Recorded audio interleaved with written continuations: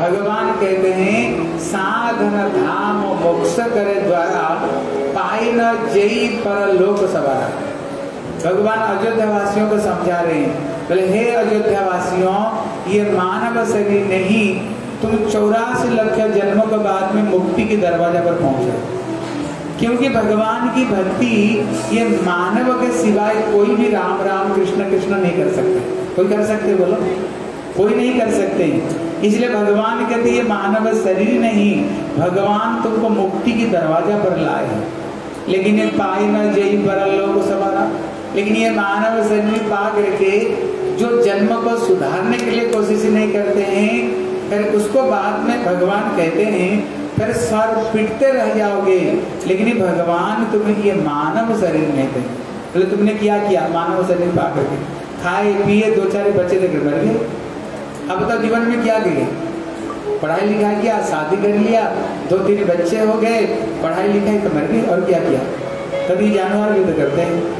बताओ, ऐसे कौन सा जानवर भी बच्चे जन्म नहीं देते? हम तो साल में एक, दो बच्चे देते हैं। एक सुअर को देखो, कितना बच्चे देता है? एक दर्जन से कम नहीं देता। हम एक बच्चे को पालना करने के लिए 20-25 साल लगाते हैं। लेकिन सुअर को देखो, एक महीना में सारे बच्चों को बड़ा बना कर छोड़ देता है। खाने के लिए देखो, कितने लिखाई पढ़ाई करके, हैं? कोई सीए कोई पीएचडी कोई डॉक्टर इंजीनियर वो भी 20-25 साल लगाते हैं। उसको बाद में 10-10 घंटा काम करके पैसा कमाते हैं। कमाते कि नहीं? किस लिए? खाने के लिए। ये जानवर को देखो, कोई स्कूल कॉलेज गए? कोई यूनिवर्सिटी में गए? कोई नौकरी चाकरी कर रहे हैं, वो अपने आप खाना अपने आप खा रहे हैं। अपने आप मिल जाता है खाने के लिए। सोने के लिए हमें क्या चाहिए? एसी रूम चाहिए गर्मी का समय में, हैं? तभी अगर किसकी टेंशन होना गोली खाने पर भी अभी नींद नहीं आती होगी। लेकिन जानवर को देखो, जहाँ तक सो जाते कोई नो टेंशन कहते ये जो मानव शरीर भगवान दिया है, अगर ये खाए, पिए और दो चार बच्चे जन्म देकर अगर जीवन खत्म कर दिया।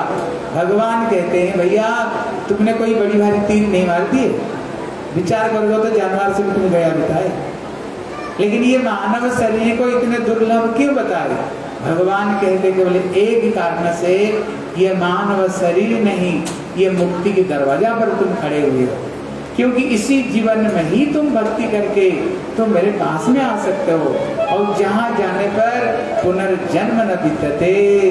जगत में दोबारा जन्म लेना नहीं पड़ेगा। इसलिए पहले नियम का 25 साल तक गुरु गृह में। फिर गुरु जी प्रश्न करते थे बेटा, बताओ क्या करोगे? जो व्यक्ति ये चीज़ समझ जाता था जीवन दुर्लभ है, ठाकुर जी बारम्बार नहीं देते। और इसी जीवन में भगवत प्राप्ति हो सकती है। वो कहते थे गुरु जी हम घर में वापस जाना नहीं चाहते हम तो आपकी चरण में रह करके आपकी सेवा करते हुए, भक्ति करते हुए संसार से मुक्ति पाना चाहते हैं, उधार होना चाहते हैं। लेकिन जो बच्चे, फैल बच्चे, जो अपना संसार की कामना वासना को, जो छोड़ नहीं सकता, फिर गुरु जी कहते जाओ, घर में जाओ। जा करके अपना कुल मर्यादा का अनुरूप शादी करो। शादी कर कितना साल तक, बोले पचास साल, उसको बाद में नहीं। इसलिए देखो, उसको बाद में जो अंक आता है ना, एकावन, बावन, चौवन मतलब क्या घर में नहीं, वृंदावन जा कहाँ जाओ? कहाँ जाओगे? वृंदावन। इसलिए वन वन शब्द आता है।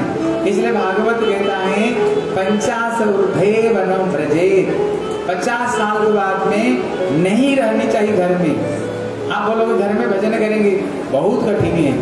घर में बहू आएगी, चाबी काटी को लगी लड़ाई होगी बहू के साथ में घर में। दिन भर लड़ाई झगड़ा में लग रहे होगे। इसलिए भजन नहीं कर सकते हो। बाल बच्चे को लेकर के इसे लग जाओगे भक्ति भक्ति जाएगी। इसलिए पहले क्या करते थे? अब रामायण देखे है ना देखे हो कौन कौन रामायण देखे टीवी में आप देखना, जब जनक महाराज जी देखा, एक बाल पक गया। शीशा में देखा, एक बाल पक गया। मतलब क्या वार्निंग क्या गई? समय हो गया जाने का ऊपर में। भगवान से कसम खा करके आया तो भजन करोगे। अभी क्या कर रहे हो? तब उन्होंने राम को बुलाया, बोले, बेटा, और संसार में रहना नहीं चाहता हूँ। अभी हम पति पत्नी बान प्रस्तुत जाना चाहते हैं। अभी तुम राज्य को तो संभालो। अभी हम भजन के लिए जा रहे हैं। अगर भक्ति नहीं करोगे अंक क्या अड़सठ साठ एक साठ पाँच साठ मतलब क्या? फिर तुम सठिया बन जाओगे। जैसे बाँस जब कच्चा होना, जिधर टेढ़ा करना तो टेढ़ा हो जाएगा। लेकिन जब पक जाती है ना टूटेगा लेकिन टेढ़ा नहीं होगा। हैं? इसलिए वो साठ एक साठ पाँच साठ उसको बाद में आता है अनहत्तर सत्तर। सत्तर इकहत्तर आता है ना, वो बड़ा महत्वपूर्ण हमारी भाषा में, जो शब्द है ना, वो ऐसे मत समझो, एक, दो, तीन, चार, नहीं, उसमें बड़े आध्यात्मिक चीज़ जुड़ी हुई है।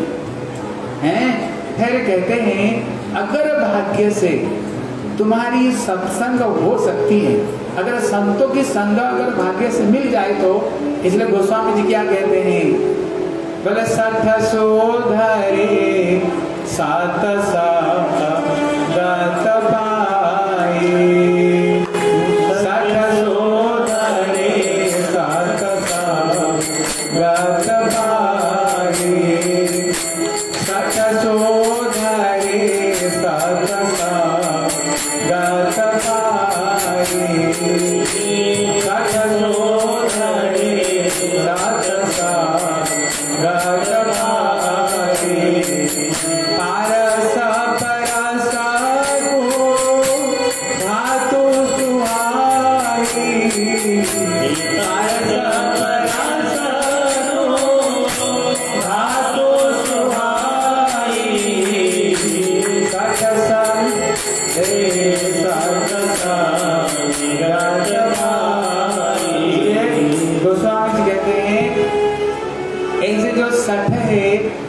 सुधर सकते हैं जैसे लोहे।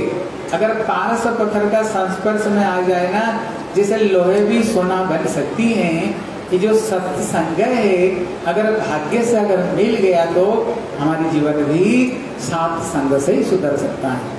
इसलिए गोस्वामी जी कहते हैं, बिनो सत्संग विवेक ना हो राम कृपा बिनो सुलभ ना इसलिए जब श्री परिजन बाबा पचास साल हो गए, अभी इक्यावन आने वाले बच्चों को बुलाए। बोले, बच्चों, और संसार में नहीं, अभी तुम लोग घर गृहस्थ को संभालो और हम दोनों पति पत्नी भजने के लिए जा रहे हैं। देखना कभी कभी घर में ना कभी कभी ऐसे होता है, जब बेटा की शादी हो जाए, घर में बहू आ जाए परिवार देखना कहीं कहीं लोग इतने दुखी हो जाते हैं। बोले, संसार में तो कहीं भी हमारे आदर नहीं।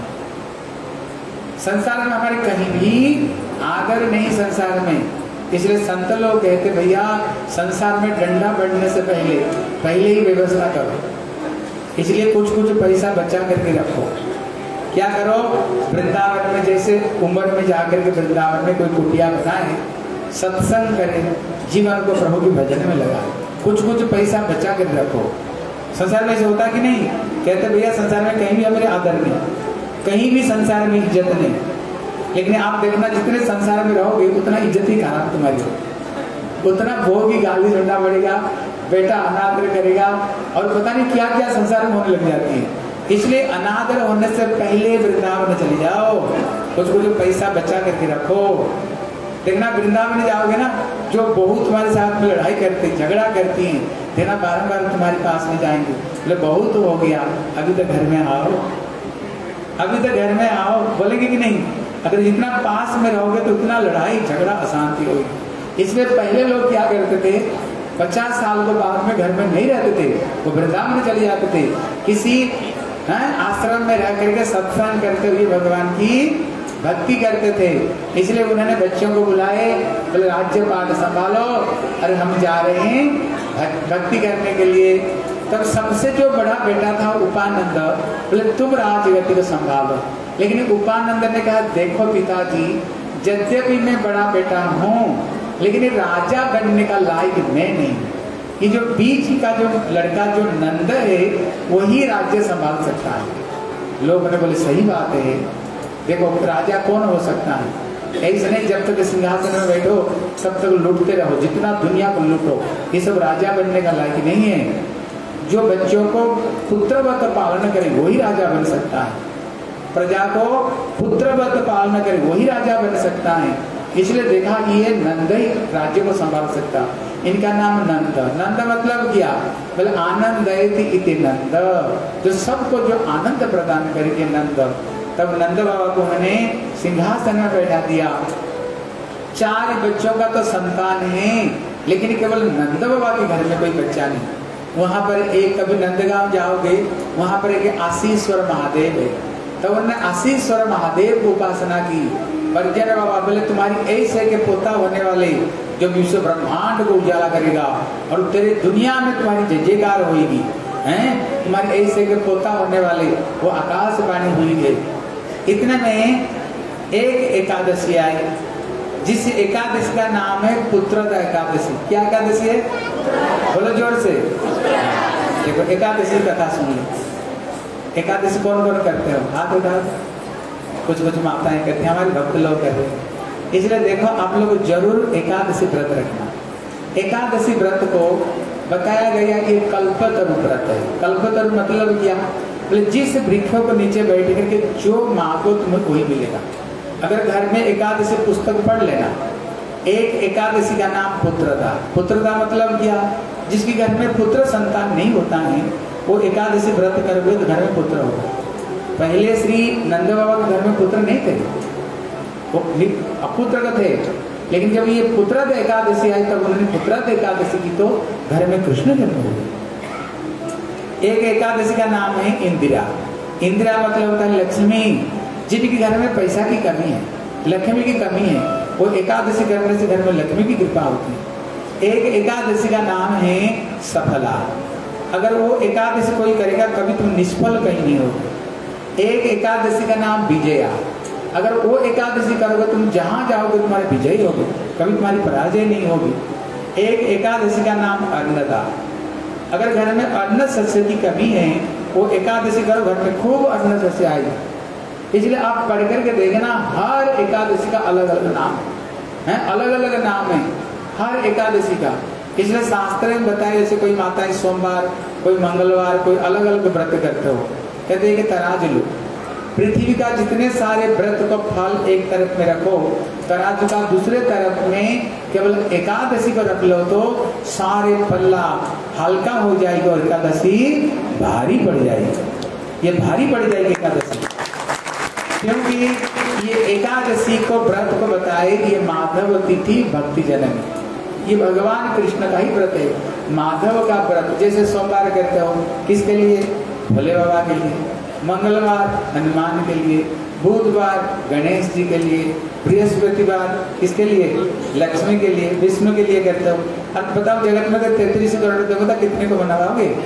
एक को मनाओ, दूसरे मुँह फुलाकर बैठा रहेगा हैं? अगर थोड़ी सी इधर उधर हो गया ना, अरे हमने उसी देवा देवा देवी को पूजा नहीं किया ना, इसलिए गड़बड़ी है ना?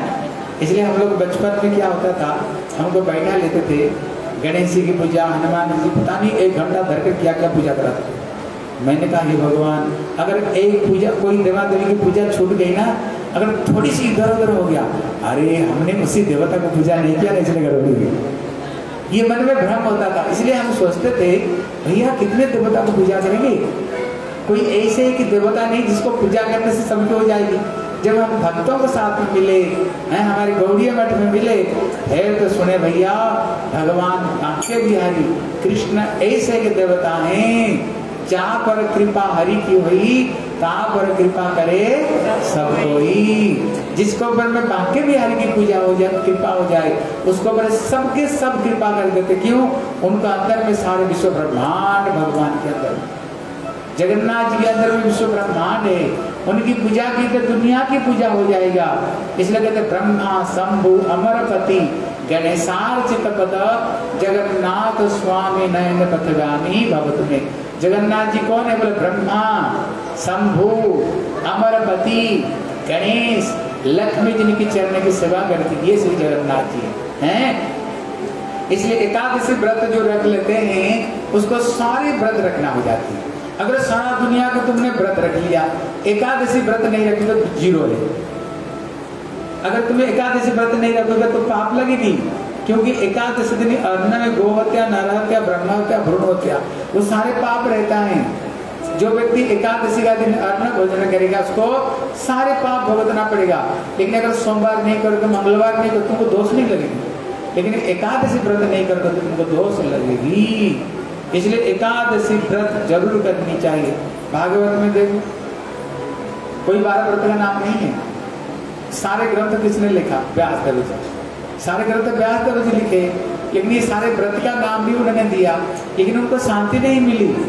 लेकिन जब उन्होंने भागवत रचना की, तभी उनको शांति मिली। ये भागवत अम्बर से महाराज की कथा है। हैं? नंद जसोदा एकादशी व्रत किए है। श्री रुक्मणी सत्यभावना एकादशी व्रत की। इसलिए अगली जीवन में कृष्णा उनको मिले। हैं कृष्ण उनको रूप में मिले। इसलिए आप लोग ज़रूर अगली बार से अभी कितना तारीख में एकादशी? है दस तारीख में। दस तारीख में एकादशी आ रही है। आप लोग ज़रूर एकादशी व्रत रखो। ठीक है? ज़रूर एकादशी व्रत रखना। और ये पंद्रह दिन में, पंद्रह दिन में ये एक एकादशी व्रत आती पंद्रह दिन के बाद में एक बार आती है। और एकादशी का दिन अन्न भोजन नहीं करना। क्या नहीं करना? हाँ जैसे फल खाओ और आलू की सब्ज़ी बना कर खाओ। जैसे कितने तरह का ड्राई फ्रूट इतने बहुत सारी खाने के लिए तो बहुत सारी चीज़ है। हैं? बहुत सारी चीज़ है। और आप देखना घर में कि एकादशी की इतने महिमा है अगर अनजान में भी एकादशी व्रत रख लिया ना इसलिए पुराण में कथा आती है दो पति पत्नी थे वो सवेरे उठते ही झगड़ा हो गई सवेरे उठते ही झगड़ा हो गई पत्नी को तो बड़ा क्रोध आई बोले तू सवेरे उठते ही झगड़ा करना शुरू कर दिया आज मैं खाना नहीं बनाऊँगी। पत्नी का मैं खाना खाऊँगा तो, तो बनाऊँगी आज मैं भोजन नहीं करूँगा। दोनों पति पत्नी में लग गई लड़ाई लड़ाई लग गई। तो उस दिन उन्होंने बनाया नहीं पूरा निर्जला एकादशी हो गया। ये पुराण में बताती है पूरा निर्जला एकादशी हो गई जानते हो क्या हुआ अगले जीवन में? अगले जीवन में वो रूपमांगद महाराज बन करके आए। संपूर्ण पृथ्वी को ऊपर वो राज्य तो करते थे। और उनकी पत्नी जो थी, वही उसने उनकी पत्नी बन करके आई। अनजान में एक एकादशी व्रत निर्जला हो गया। घर में कभी कभी होता होगा। होता होगा कि नहीं?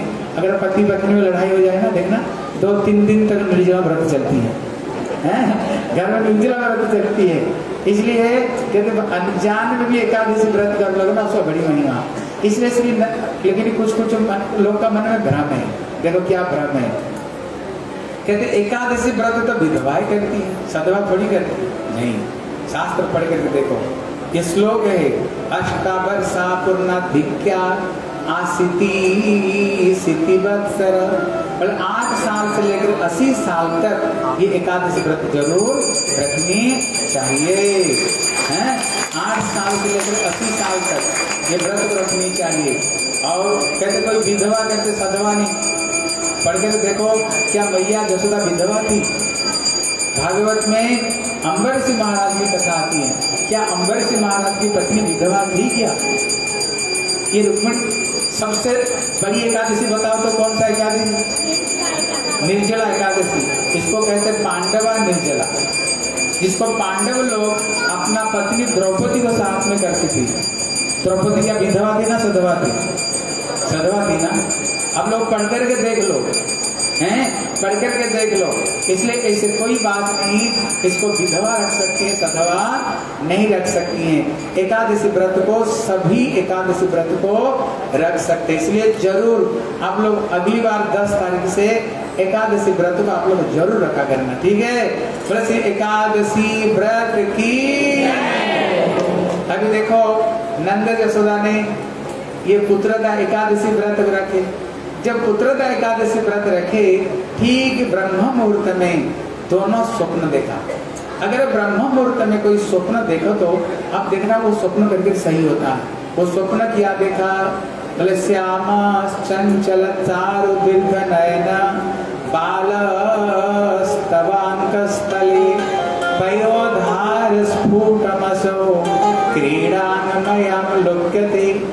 ये स्वप्न देखते ही दोनों को में नींद खुल गई।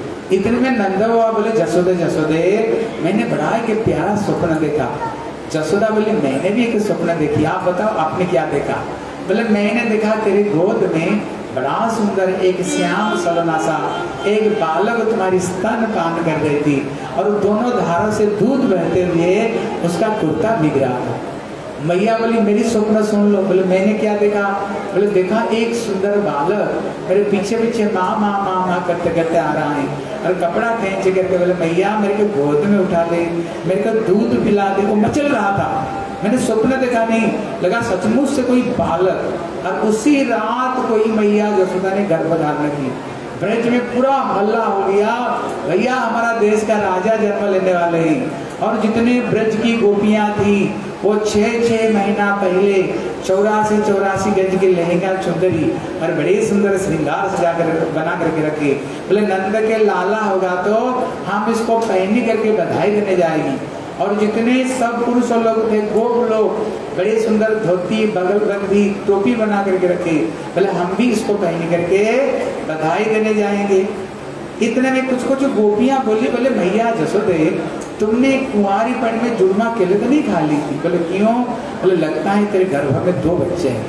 सचमुच से माँ के गर्भ में दो बच्चे थे, एक तो कृष्ण और एक जोग माया था। इतने में जब गर्भ में बच्चा हो, देखना माताओं को चटपट चीज़ अच्छी लगती है। इतने में भी मैया जसोदा बड़ी जितेंद्रिय थी। बोले, मेरे को तो खीर खाने की इच्छा हो रही बड़ी सुंदर उन्होंने खीर बनाए और भगवान को सालग्राम को तुलसी पता दे करके भोग लगाए और उनको खिलाए एक बड़ी बड़ी गोपी बोली, बोले, मैया, लगता है तेरे गर्भ में एक लाला होने वाला है। बोले, पता कैसे चला? बोले, तुम्हारी जो होठ है ना, वो पीली पीली दिख रहा है। इसका मतलब तेरे गर्भ में बेटा होने वाला है। एक होता है गर्भ संस्कार माता ध्यान देकर सुना। गर्भ संस्कार गर्भ संस्कार मतलब होता है जब गर्भ में बच्चा हो, उसी समय में माताओं को गीता हो, रामायण हो, भागवत हो, कोई सद ग्रंथ हो, कोई संतों का चरित्र हो, माताओं को ज़रूर सुननी चाहिए। अब देखना, गर्भ में बच्चे रहते हुए माँ जो काम करे ना, वो बच्चे के ऊपर वही संस्कार पड़ती है। ये प्रहलाद की कथा जानते हो। जब प्रहलाद ने बच्चों को बड़ी दिव्य दिव्य ज्ञान की बात बताई इतने में? बच्चों ने कहा, प्रहलाद, तुम जो इतनी अच्छी अच्छी बात बता रहे हो, हमारे गुरु जी संडा हमारे को तो बात बताए नहीं। तुमको ये सब बात कहाँ से मिली? बल्कि जब माँ की पेट में था। श्री नारद जी मेरे माँ को उपलक्ष्य करते हुए कथा सुनाते थे। इसलिए मैं माँ की पेट में बैठी, बैठ कर सारे ज्ञान आरण कर लिया। है? अपने महाभारत देखे होंगे। देखे हो महाभारत? जिस समय द्रोणाचार्य ने चक्र व्यूह रचना की चक्र भी केवल अर्जुन को जानता है भेद करना, और कोई नहीं जानता है। इतने में अभिमन्यु ने कहा, मैं जानता हूँ। बोले, कैसे? बोले, जब मैं माँ की पेट में था, सुभद्रा देवी की गर्भ में एक दिन मेरी माँ, मेरे पिताजी अर्जुन को बोले, ये चक्र भी हो क्या होता है? इतने में अर्जुन ने ये चक्र भी को कैसे भेद करेगा? उन्होंने सारी बात उन्होंने बताया लेकिन निकलेगा कैसे? बताना जा रहे तो मैया, सो गई। मेरे पिताजी ने बोलना बंद कर दिया। इसलिए मैं माँ के पेट में रहते हुए मैंने सब कुछ सीख लिया। समझ रहे हैं कि नहीं? इसलिए जैसे माँ आपको पेट में बच्चा है, आप यहाँ पर बैठ कर कथा सुन रहे हो। जब सुन रहे हो, तुम्हारे गर्भ में बच्चा, वो भी बैठ कर सुन रहा है। वो भी सुन रहा है। आप ठाकुर को प्रणाम कर रहे हो। पेट में बच्चा है, वो भी ठाकुर को प्रणाम ही कर रहा है। ठाकुर मंदिर परिक्रमा कर रहे हो। तुम्हारे पेट में बच्चा है, वो भी ठाकुर की मंदिर की वो भी परिक्रमा कर रहा है।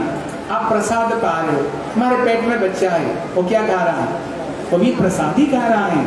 मतलब गर्भ संस्कार इतने बड़ी संस्कार है। इसलिए नियम है, गर्भ में बच्चे रहते हुए माताओं को उल्टा पुल्टा फ़िल्म देखनी नहीं चाहिए। गंदी गंदी पिक्चर नहीं देखनी चाहिए। देखना, फिर वो बच्चा गुंडा बनकर निकलेगा घर आप देख लेना कोई कोई बच्चा ऐसे होता है ना, बड़ी संस्कारी है। सवेरे होते ही पिता माता की चरण छुएगा पिता माता की आदेश पालन करेगा। लेकिन देखना कभी कभी बच्चे बड़े उद्दंड होते हैं। बोले कारण है क्या बोले, माँ की दोष है। वो बच्चा जब गर्भ में था आपने कोई गर्भ संस्कार नहीं की कोई गीता रामायण, भागवत पढ़ी नहीं। उल्टा पुल्टा फ़िल्म बैठ कर देखेगा इसलिए वो बच्चा इतना उल्टा पुल्टा निकलता है। ठीक है?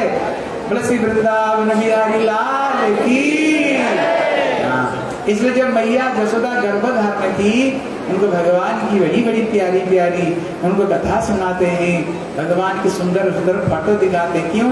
वो जो देखेगा वही गर्भ में वही संस्कार बनेगा। और नंद बाबा की एक बहन थी, जिसका नाम थी सुनंदा। वो तो छह महीना पहले में आकर घर में जम करके बैठ गई। क्यों? बोले, भाभी गर्भधारण के लिए बेटा होगा, इसलिए मेरे को नवला की हार मिलेगी। वो छह महीना पहले घर में बैठ गई आकर हैं? और घर का सारे काम काज को वही भाग भाग कर कर रही थी। ऐसे लग रहा था माना आज रात वही बालक की जन्म हो जाएगा। गाँव में पहले क्या करते थे? आठ बजे तक जगते थे। उसके बाद में खा पी कर जल्दी जल्दी उठ जाते थे। हैं? उस समय तो टीवी भी कुछ होता है नहीं। ऐसे नहीं रात एक बजे, दो बजे तक देखो, फिर सवेरे आठ, नौ बजे तक उठो। हाँ पहले लोग जल्दी सोते थे, जल्दी उठते थे। ये बहुत अच्छी चीज़ है। अभी देखा, आठ बजे तक एक काम करो, लगता है आज बालक का जन्म होने वाले हैं। ऐसे लग रहा है। बोले, दो दो घंटा ड्यूट लगवा दो। बोले, आठ से दस दस से बारह। दो दो घंटा ड्यूट लगवाओ। और उन्होंने ढोलकी और मजरा लेकर के बोले, गोविंद जय जय, गोपाल जय जय।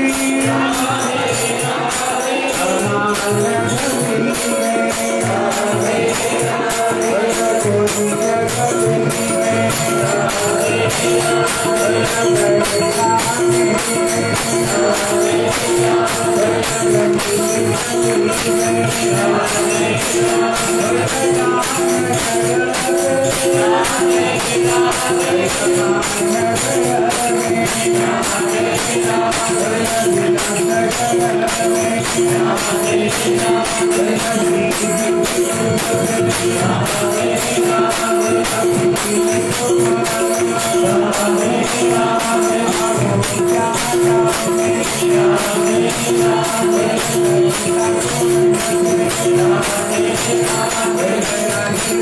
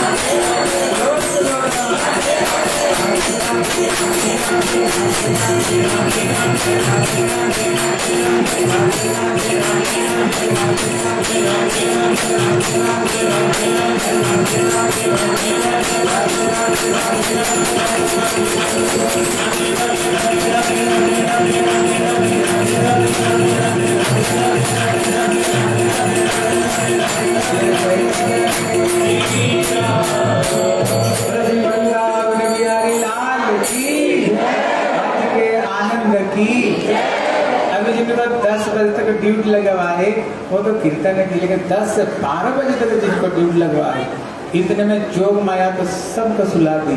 कहाँ चिमटा गिरी कहाँ ढोलकी गिरा, स्वयं कहाँ पर गिरे पता ही नहीं। कब श्री वसुदेव महाराज मथुरा से कृष्ण को लेकर के आए? देखो, अच्छी बात है सुना।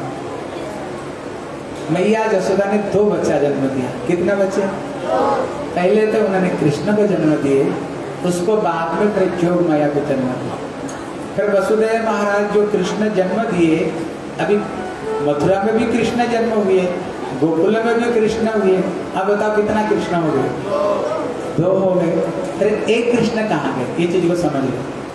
इसलिए मथुरा में जो कृष्ण जन्म हुए हैं, वो अंश कृष्ण है। और गोकुल में जो कृष्ण हुए पूर्ण कृष्ण है। हैं? ये पूर्ण कृष्ण हुए जब वसुदेव महाराज ने वो कृष्ण को लाए, ये जो पूर्ण कृष्ण, उन्होंने वो कृष्ण को पदार्थ में मतलब शरीर में मिला लिया। लेकिन एक रात था, इसलिए वसुदेव महाराज ये चीज़ को समझ नहीं पाए। श्री वसुदेव महाराज सोच रहे कृष्ण मेरा ही है। और नंद बाबा क्या सोच रहे कृष्ण मेरा है। लेकिन कृष्ण दोनों भाई है।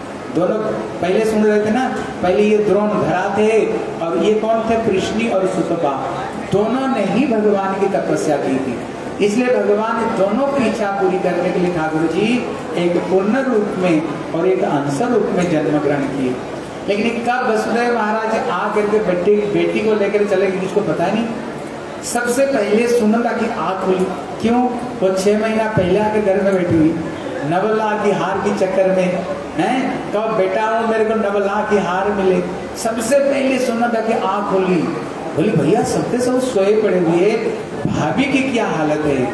जब उन्होंने दरवाज़ा खोल करके देखा, मैया जसोदा की गोद में किलकारी मारते हुए, बड़े सुंदर एक श्याम सलोन सा बालक वहाँ पर किलकारी मारते हुए खेल रहा है। बोले, भैया, कब श्री मैया जसोदा ने जन्म दिया? किसको पता ही नहीं? उसने किया कि एक थाली ली और बड़ी ज़ोर ज़ोर कर बजा करके ज़ोर ज़ोर कर बजा करके की पूरा उसने हल्ला मचा दी। बोले, भैया भैया कहाँ पर है? भैया को ढूंढो। इतने में ढूंढते ढूंढते ब्रह्मांड घाट में जब पहुँचे नंद बाबा माला कर रहे थे। माला नहीं हो पा रहा था। सोच रहे थे, घर में छोरा कब है, वो लाला कब है, वो यही यही जब कर रहे थे। इतने में सुनंदा ने आ करके बोल दिया, बोले, भैया, कमाल है गयो है नंद बाबा तो छलांग लगा दिया बोले, बहन ने कहा, भैया, बताओ। बोले, पहले बता तू दोग किया। क्योंकि छह महीना पहले आकर मैं बैठी हूँ। पहले बता मेरे को क्या मिलेगा? बोले तो नवला की हार की चक्कर में बैठी ना? बोले हाँ बोले, ले नवला की हार को ले ले। बोले, और क्या दोगे? बोले दे तो दिया। बोले, भैया, बात बहुत बड़ी है। छोटी बड़ी थोड़ी बात है। ये नवला के हार में बात नहीं बनेगी। बताओ, और क्या दोगे? बोले, ले जो चलते हैं ना, वो सारे ज़मीन जगह पे तेरे नाम पर लिखवा दिए। बोले, और क्या दोगे? बोले, दे तो दिया, और क्या दोगे? दे तो दिया, ज़मीन दे दिया, नवला क्या? बोले, भैया भी तो बहुत बड़ी है, बताओ क्या दोगे? बोले, ले, ट्रेजरी का सारे चाबी गाड़ी तू ले ले। सारे चाबी गाड़ी तू ले ले, जो इच्छा सो ले लेना। लेकिन ये बता तो सही, घर में कहा भाई बोले, बाबा, तेरे घर में लाला भाई हे बोले श्री नंद के लाला की नंद बाबा वही सही भागे दौड़ लगाए ब्रजवासी बोले, बाबा, जीवन में पहला बार लाला का मुख दर्शन कर लो। सब दस का सारा दुनिया आएँगे दर्शन के लिए। इतने में नंद बाबा को बड़े सुंदर बगल बंदी धोती पगड़ी बना दिए, बड़े सुंदर गले में माला, फूलों की माला पहना दिए, बड़े सुंदर तिलक लगा दिए। हैं? बोले, बाबा देखो कैसे लग रहे हो? बोले, भैया, बहुत बढ़िया लग रहा है चोखा लग रहा। लेकिन एक चीज़ की कमी रह गई। बोले, क्या? बोले, दाढ़ी ना थोड़ी सफ़ेद है। चिंता क्यों कर उसको भी कलर कर देते हैं। हाँ उसका भी कलर कर देते बोले, देखो कैसे लग रहा बोले, अभी तो बहुत बढ़िया लग रहा बोले, जा, लाला के मुख दर्शन करो। नंद बाबा, कितने तपस्या। देखो, एक चीज़ समझो। बहुत उन्होंने तपस्या की। उन्होंने दान पुण्य की, यज्ञ की। लेकिन घर में बच्चा जन्म नहीं हुआ। लेकिन बच्चा घर, कब घर में जन्म हुआ? जब उन्होंने एकादशी व्रत रखे। एकादशी व्रत रखे, तभी बच्चा हुआ। मतलब किया? कभी एकादशी व्रत किया है? कहते जो एकादशी व्रत है कहते माधव तिथि भक्ति जननी जतन पालन करी, कृष्ण बसती बसती बोली, परम आदर इसलिए हमारे गोस्वामी लोग कहते जो एकादशी, ये कृष्ण भक्ति को देने वाली एकादशी है। अगर आप सारा दुनिया की व्रत रख रहे हो, लेकिन एकादशी व्रत नहीं रखते हो तो भगवान को प्राप्त नहीं कर सकते हो। मना कर देता है शास्त्र। लेकिन अगर कोई व्रत तुम नहीं रखते हो, केवल एकादशी व्रत रखते हो, ये एकादशी व्रत साक्षात भगवान को दिलाने वाले श्री एकादशी व्रत है। तभी घर में लाला की जन्म हुई है। इतने में श्री नंद बाबा आए, लाला का जब मुख दर्शन की, मुख दर्शन करके उन्होंने संकल्प लिया, क्या संकल्प लिया? बोले, मैं ब्राह्मण को 20 लाख गैया दान दूँगा।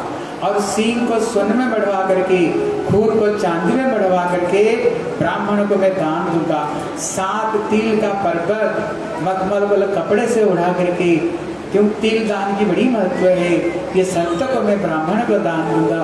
उनने संकल्प लिया। संकल्प लेने का बाद इनका जो नाड़ी छेदन हुई ना, शास्त्र में बताया, नाड़ी छेदन होने से पहले जो दान है वो सबसे श्रेष्ठ मानी गई। नाड़ी कटने से पहले, हैं? नाड़ी कटने के बाद जो दान है, लेकिन उसका इतना महत्व नहीं। नाड़ी कटने से पहले जो दान देते हैं, इसलिए उन्होंने संकल्प किया। संकल्प करके बोले, पहले साधु संत को बुलाओ, ब्राह्मण को बुलाओ। आज उन्हीं की आशीर्वाद से ये बूढ़े उम्र में मुझे लाला की मुख दर्शन करने को मिला है। तो संत ब्राह्मण को बुलाए, बड़े सुंदर स्वस्ति वाचन से लाला का आशीर्वाद दिया। बोले, एक नाई को भेज दिए। बोले, जाओ ब्रज में ढिंडरा पिटवा दो, नंद के घर में लाला भयो है सबके सब श्रृंगार करके आओ। और जितने गोपियाँ थी, वो तो छह छह महीना पहले से ही चौरासी चौरासी गज के लहंगा बना कर रखी थी। बड़े सुंदर श्रृंगार की, बड़े सोलह श्रृंगार और द्वादश आभरण पहन करके कृष्ण को दूध, दही, मक्खन लेकर के वो श्रृंगार करके बधाई देने के लिए आ रही थी। आते समय की गोपियों के कान में जो कुंडल थी ना, बड़ी ज़ोर ज़ोर से हिल रहा था बोले, क्यों? बोले, तुम लोग को पहुँचने से पहले हमें छोड़ दो। हम भगवान कृष्ण को बधाई दे। जो चोटी में सुंदर सुंदर फूल की श्रृंगार की थी, और एक एक फूल की चरण में गिर रहा था। बोले, क्यों? बोले, जो व्यक्ति कृष्ण को बधाई देने जा रही है, उनकी चरण की पूजा करनी चाहिए। अगर चोटी में रहेंगे तो जमुना में बहा देंगे। अगर ब्रज ब्रज में मिल जाएँगे कृष्ण जब थोड़ी सी बड़े होकर के गली गलियों में ठुमुक ठुमुक करके जाएँगे चलेंगे, कम से कम भगवान के चरण स्पर्श करेंगे। इसलिए जितने मैया थी ना, वो सबके सब जितने माताएँ, मैया जसोदा को बधाई दे रही। देखो माताएँ, मैं बोलूँगा, मैया जसोदा, बधाई हो।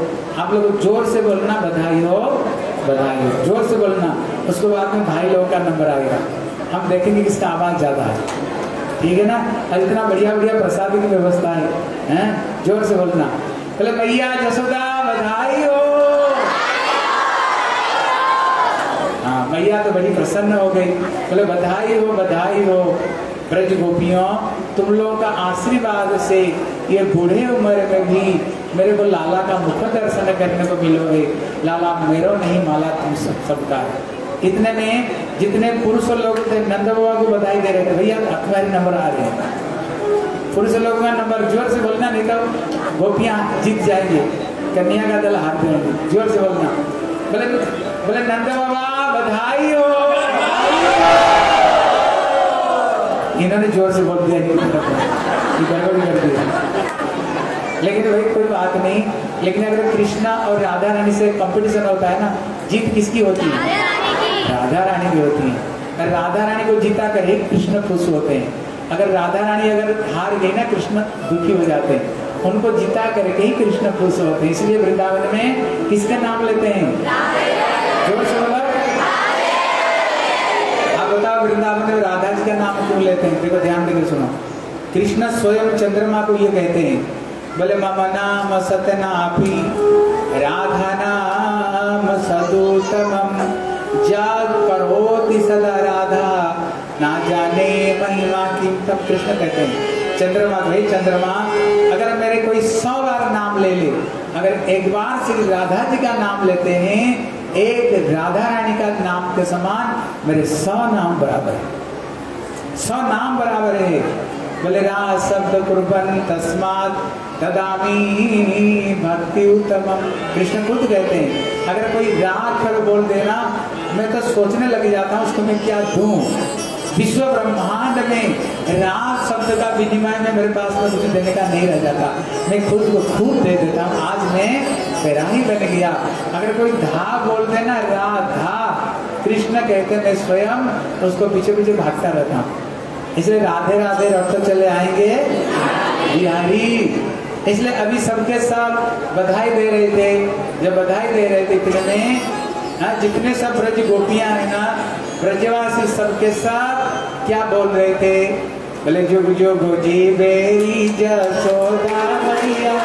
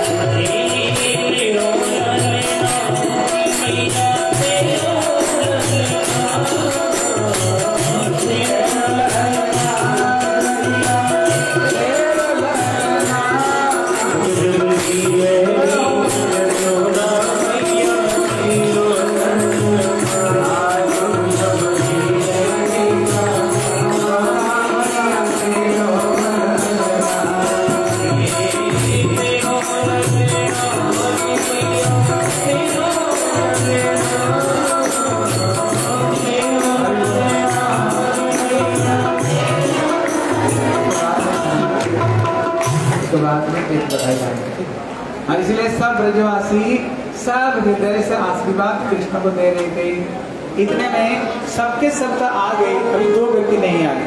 बोले कौन बोले विश्वभानु महाराज और श्री कीर्तिका सुंदर नहीं आए। इनके अंदर में बड़ी मित्रता थी। इतने में देखते देखते वृषभानु महाराज और कीर्तिका मैया प्रवेश की।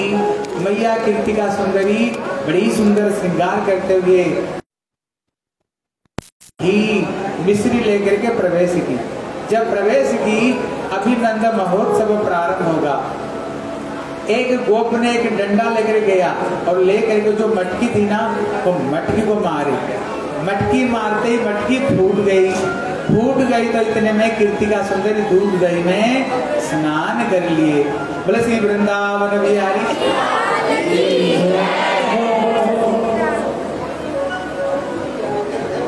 अभी कीर्तिका मैया उसमें स्नान कर ली फिर दही दूध और उसमें घी मिला करके के दधी का दी होता है, मिला मिला करके एक दूसरे के ऊपर लगा रहे थे। इतना दूध दही वहाँ पर लाए थे, वहाँ पर खींच खींच हो गया।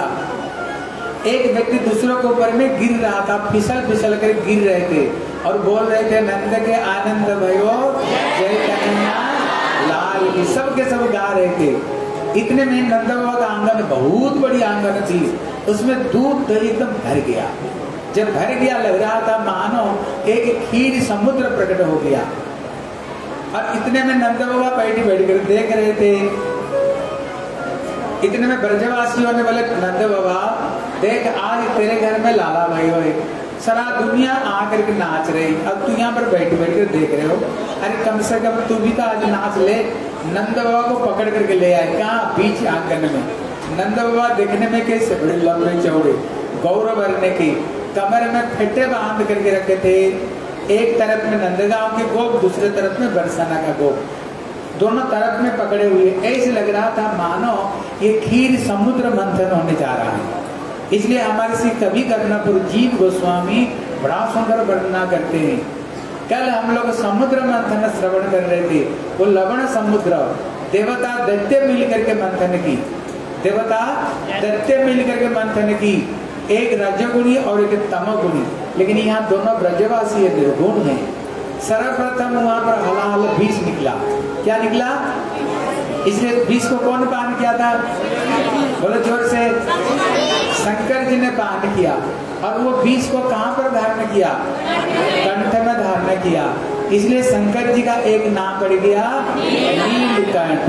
बोले, श्री नीलकंठ महादेव की विशेषकर माताएँ सुनो ध्यान से।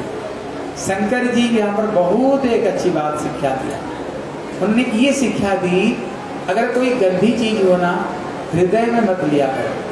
क्योंकि शंकर जी के हृदय में कौन बैठे? ठाकुर जी बैठे। हैं? कोई गंदी चीज़ को हृदय में नहीं लेनी चाहिए। और कोई गंदी चीज़ हो ना, उसको मुँह में भी नहीं रखनी चाहिए। कहाँ रखनी चाहिए? कंठ में। अगर कोई गंदी चीज़ को मुँह में रख लो ना तो बड़ी गड़बड़ी है। आप बताओ ये महाभारत क्यों हुई? है इसलिए गुरु जी कहते थे ये द्रौपदी इतनी सी बात बता दी थी अंधा का बेटा अंधा होता गुरु जी कहते थे देखना हमारे शरीर में सब जगह में हाथी है। अंगुल में हड्डी सीधा हो जाता है हाथ में हड्डी सीधा हो जाती है कमर में हड्डी बैठे हैं। बताओ तो कहाँ पर हड्डी नहीं? ज़ोर से बोलो। जी में। आप लोग पंडित लगते हैं सबसे। इसलिए जीव में हड्डी नहीं, इसलिए देखना जो जीव है ना, वो कभी चुप नहीं बैठता है। वो लपड़ लपड़ कुछ ना कुछ बोलना चाहता है। कुछ ना कुछ बोलना चाहता है, चुप नहीं रहता है। अब जितने घर में झगड़ा किस लिए, ये महाभारत क्यों हुई? उसने द्रौपदी इतनी सी बात बता दी कि अंधा का बेटा अंधा। केवल इतनी सी बात में ही पूरी महाभारत, दुर्योधन को क्रोध आया, सब कुछ जीत लिया, कपट युद्ध खेल करके दुशासन, द्रौपदी अभी राज रानी नहीं रह गई, हमारे दासी। अंधा का बेटा, अंधा होता है पकड़ कर ले आओ, और उसको विवस्त्र करके मेरे जंगे के ऊपर बैठा दो। इतने में भीम अर्जुन को क्रोध आया, उनने प्रतिज्ञा की। बोले, जिस हाथ से तुमने द्रौपदी के केस को आकर्षण की, घोर युद्ध में हाथ को उखाड़ करके फेंक दूँगा। दुर्योधन को बोला, जिस जंगे के ऊपर तुमने पांचाली को बैठाने के लिए बताया, घोर युद्ध में तेरे जंघा में तोड़ूँगा। सारी महाभारत क्यों हो गई? केवल जीवा के कारण। रामायण क्यों हुआ? मैया सीता ने वो भी सिखा दिया, वो भी लक्ष्मण को थोड़ी गलत बात बता दिया। क्या बताया जानते हो? जिस समय मारी ने हिरण बन करके आया, मैया सीता बोली हिरण को ला दो। रामचंद्र गए बोले, लक्ष्मण तुम यहाँ पर सीता को देखभाल करना। क्यों? यहाँ पर राक्षस लोग रहते हैं। सीता को छोड़कर जाना नहीं, बोले, भैया, कहीं नहीं जाऊँगा। लेकिन राम को तो बहुत दूर तक भगा करके ले गए जब राम ने बाण मारे, इतने में मारी जी बोले, भैया लक्ष्मण भैया लक्ष्मण। सीता बोली, तुमने सुने? लगता है राम के ऊपर कोई विभूति आ पड़ी। लक्ष्मण को पता है, राम भगवान उनके ऊपर कोई विभूति आ ही नहीं सकती। कोई आ ही नहीं सकती। बोले, नहीं भैया, बोले, आपको छोड़ करके जाना नहीं। मैं आपको छोड़ करके नहीं जा सकता। सीता ने क्या बोली? इतनी सी बोल दी, लगता है मैं समझ गई तू साथ में क्यों आया था। तुम ये समझ रहे हो, राम मर जाएगा तो तुम मेरे से शादी करोगे? जो कभी भी सीता जी की चरण को बगैर, कभी मुँह तक भी नहीं देखा, वो माँ मानता है, अगर सीता ऐसे बोले, कैसे घर लगेगा? इतने में लक्ष्मण ने क्या की ठीक है, केवल जीवन में पहला बार में भगवान राम का मैं आज्ञा को उल्लंघन कर रहा हूँ। बोले माता जी एक काम करिए बोले, बताओ, बोले, ये लक्ष्मण रेखा को मैं काट कर जा रहा हूँ। ये लक्ष्मण रेखा को पार नहीं करना, लेकिन सीता जी दो गलती की वो जगत को शिक्षा दे रही है, सीता तो फिर गलती करेगी नहीं, दुनिया को शिक्षा देती है। पहला गलती किया कि जीवा से अपशब्द निकली। दूसरी गलती किया कि लक्ष्मण रेखा उसने पार की। फिर तो रावण उठा के दे गया इसलिए यहाँ पर माताओं को शिक्षा दे रही है। जितने माताएँ, आप लोग भी समझो। हमें कभी भी अपना मर्यादा रेखा को पार नहीं करनी चाहिए। अगर मर्यादा रेखा को पार करेंगे ना, फिर हमें रावण उठा कर ले जाएगा। कौन उठा कर ले जाएगा? ज़ोर से बोलो। आप बोलोगे, तृतीय युग में रावण था, अभी कहाँ से आएगा? रावण तक एक था तृतीय युग में। अभी तक रावण सब गली गली में घूम रहे हैं। है कि नहीं गली गली में घूम रहे कि नहीं? ये रावण सब गली गली में घूम रहे हैं। अगर हम मर्यादा रेखा को पार गए ना, पता नहीं कौन रावण हमको उठा करके लड़का ले जाएगा। दूसरी चीज़, सावधानी से सुना आता है ये चीज़ को अपना जीवन में उतारना। कभी भी ये जीवा से अपशब्द नहीं निकालना। घर में क्यों लड़ाई होता है? क्यों लड़ाई होता है? आज एक जगह पर मैंने गया था। उन्होंने बड़ी दुखी होकर बहुत सारी बातें बताई, बोले, उनका सांस और बहू में पड़ नहीं रही, इतने घर में माँ बाप तो उसका जो पति इतने टेंशन में आ गया मेरे पास में। इसलिए टेंशन में आ गया पति इसलिए कभी कभी कुछ नहीं हुआ, बहू सांस को, सांस बहू को। थोड़ी सी जुआ स्लीप हो गई, कुछ हुई नहीं। केवल स्लीप हो गई। देखना, घर में क्या होना, पूरा घर महाभारत जाती है। ठीक है? देखो ऐसे ही अब आपको एक छोटी सी कथा सुनाता हूँ। ध्यान देकर सुना। ध्यान देकर सुना।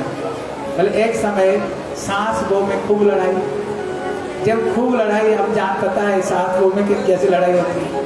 इतने में वो बहू क्या की, उसने अपना ससुर घर छोड़ करके वो आ गई पिहर जब पिहर आ गई, एक संतों के पास में गई। बोले, बाबा, ऐसे घर में खूब लड़ाई झगड़ा, खूब लड़ाई झगड़ा में तो अपना पीहर में आ गई। और मेरे ससुर तो नहीं राक्षस है हाँ सास नहीं, कहती वो साक्षात पिशाची है। देवर नहीं, है? देवर नहीं उधर राक्षस है सबको गाली देती हैं। बोले, बता, मेरी संसार कैसे बैठेगा? माता लोग, आप लोग तो ध्यान से सुन लो। अभी संसार तो टूट गया। ये संत ने कहा, देखो, एक काम करियो, मैं तुमको एक दवा देता हूँ। जब झगड़ा होगा ना, ये दवा को मुँह में डाल लेना। क्योंकि पाउडर था तो मुँह में डाल लेना और उसी समय में डालोगे ना तेरा मुँह बंद हो जाएगा चुप हो जाएगी। क्यों? मुँह में पाउडर है। आप देखना सात दिन में तुम्हारा उजड़ा हुआ संसार बैठ जाएगा। सात दिन में बैठ जाएगी। इतने में घर फिर वापस आई लेकिन जब सांस को साथ में लड़ाई हुई होते ही वो अंदर में पाउ, पाउडर डाल देता था। पाउडर डालते मुँह हो गई बंद। मुँह चुप हो गई। पहले अगर सांस एक बोले और बहू दस सुना देती थी। लेकिन जब मुँह बंद हो गई मुँह बंद, बात नहीं निकलती। है सांस बोली, इसको क्या हो गया? पहले में एक बोलते ये दस सुना दी थी लेकिन इसका मुँह कैसे बंद हो गया? इसका मुँह कैसे बंद हो गया? जब दो चार दिन गया ना, सांस बोलते रहे, लेकिन वो कुछ भी नहीं बोली। उस समय मुँह में पाउडर डाल देती थी। बंद। जब पाँच, सात दिन हो गई ना, बोले, मेरे बहू तो एकदम बदल गई। ये तो इतनी अच्छी हो गई। इतने में इतने प्रसन्न हो गई, हैं? बोले और एक काम करना, सवेरे उठ करके सास ससुर की चरण छुना सास ससुर की चरण छुना इतना ही कर लेना। सात दिन में घर परिवर्तन हो गया। और जब परिवर्तन हो गया तो सांस है ना, जितने पैसा अपना पास में रखा करती थी वो नहीं थी जितने किराया किराया लेकिन इतने खुश हो गए, बोले, दूध का पैसा तू दे, मार्केट की पैसा तू ही ले, घर को पूरा पूरा तू संभाल, और तेरा ही अभी संसार है। लेकिन इस सात दिन में घर एकदम बैकुंठ बन गया। वो वापस आए। जब वापस आए, बोले, बाबा, आपने क्या इसे दवा दी? पूरा घर मेरी मुट्ठी आ गई। बोले, बेटी, कोई दवा नहीं थी। जितने लड़ाई झगड़ा ये जीवा से होता है इसलिए लड़ाई झगड़ा होती थी, तू बोलती थी। इसलिए तुम्हारी बोलती बंद हो गई तो इसलिए अपने आप सारी लड़ाई शांत हो अपने आप शांत हो गई। समझ रहे कि नहीं? इसलिए भैया, ये जीवा को, ये रामायण महाभारत का कारण यही है। इसलिए शंकर जी जहर को कहाँ पर रखे? उन्होंने मुँह पे भी नहीं रखे, अपने हृदय में भी नहीं रखे, कहाँ पर रखे? उन्हें अपना कंठ में रख लिया अगर कोई गंदी चीज़ हो ना, इसको मुँह में नहीं, हृदय में नहीं, कहाँ पर रखो?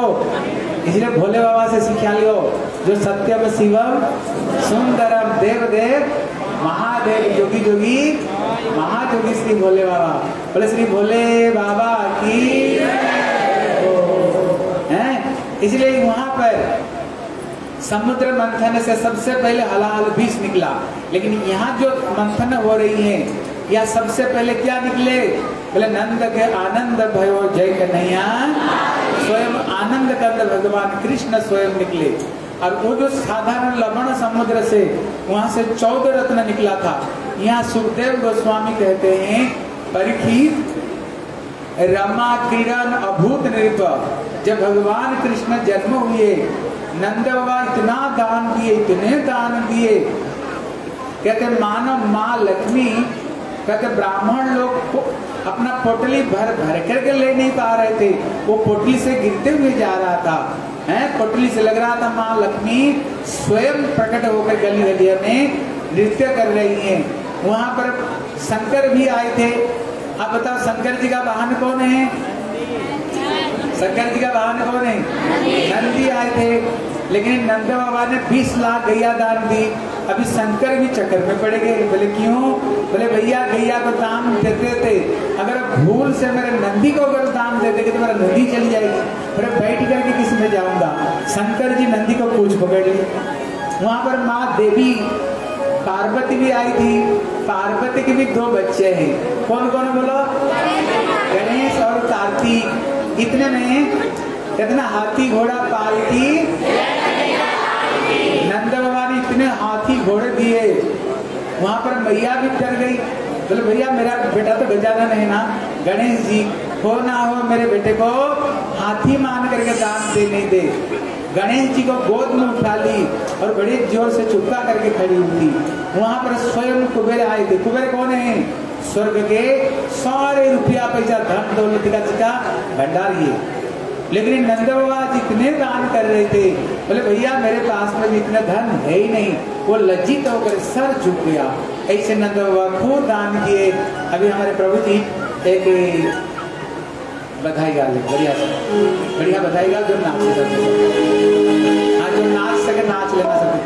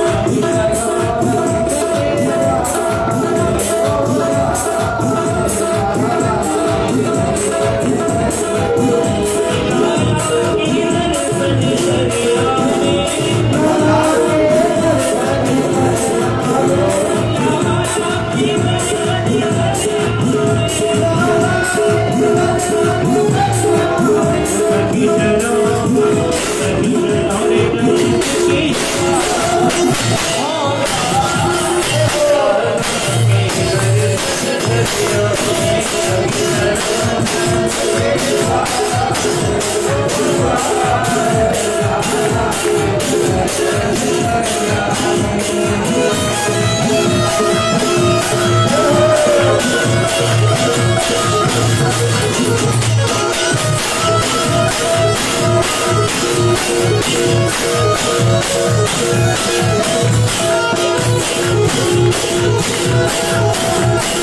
back.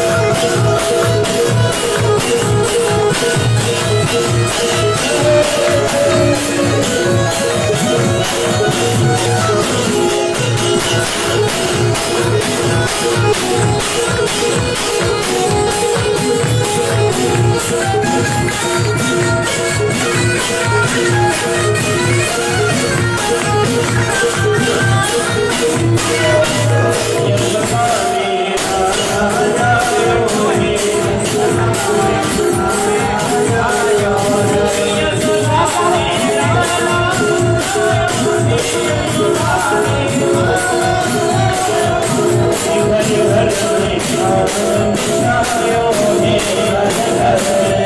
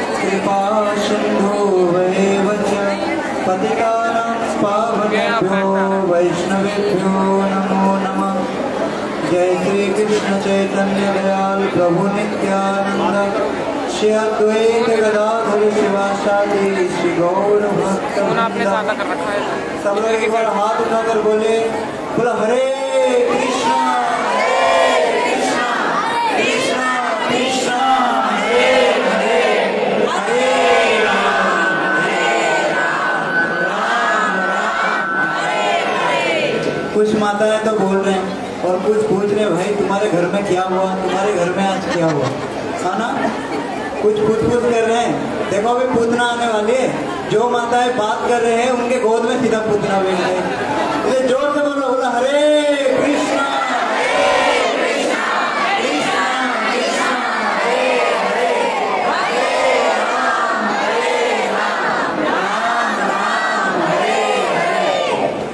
सबसे पहले गुरुपाद पद्म, ओम विष्णुपाद अष्टोत्र सत्य श्री श्रीमद भक्ति वेदांत सिद्धर गोस्वामी गुरु महाराज जी चरण में साष्टांग दंडवत प्रणाम करके उनके हेतु कृपा वांछा करता हूँ।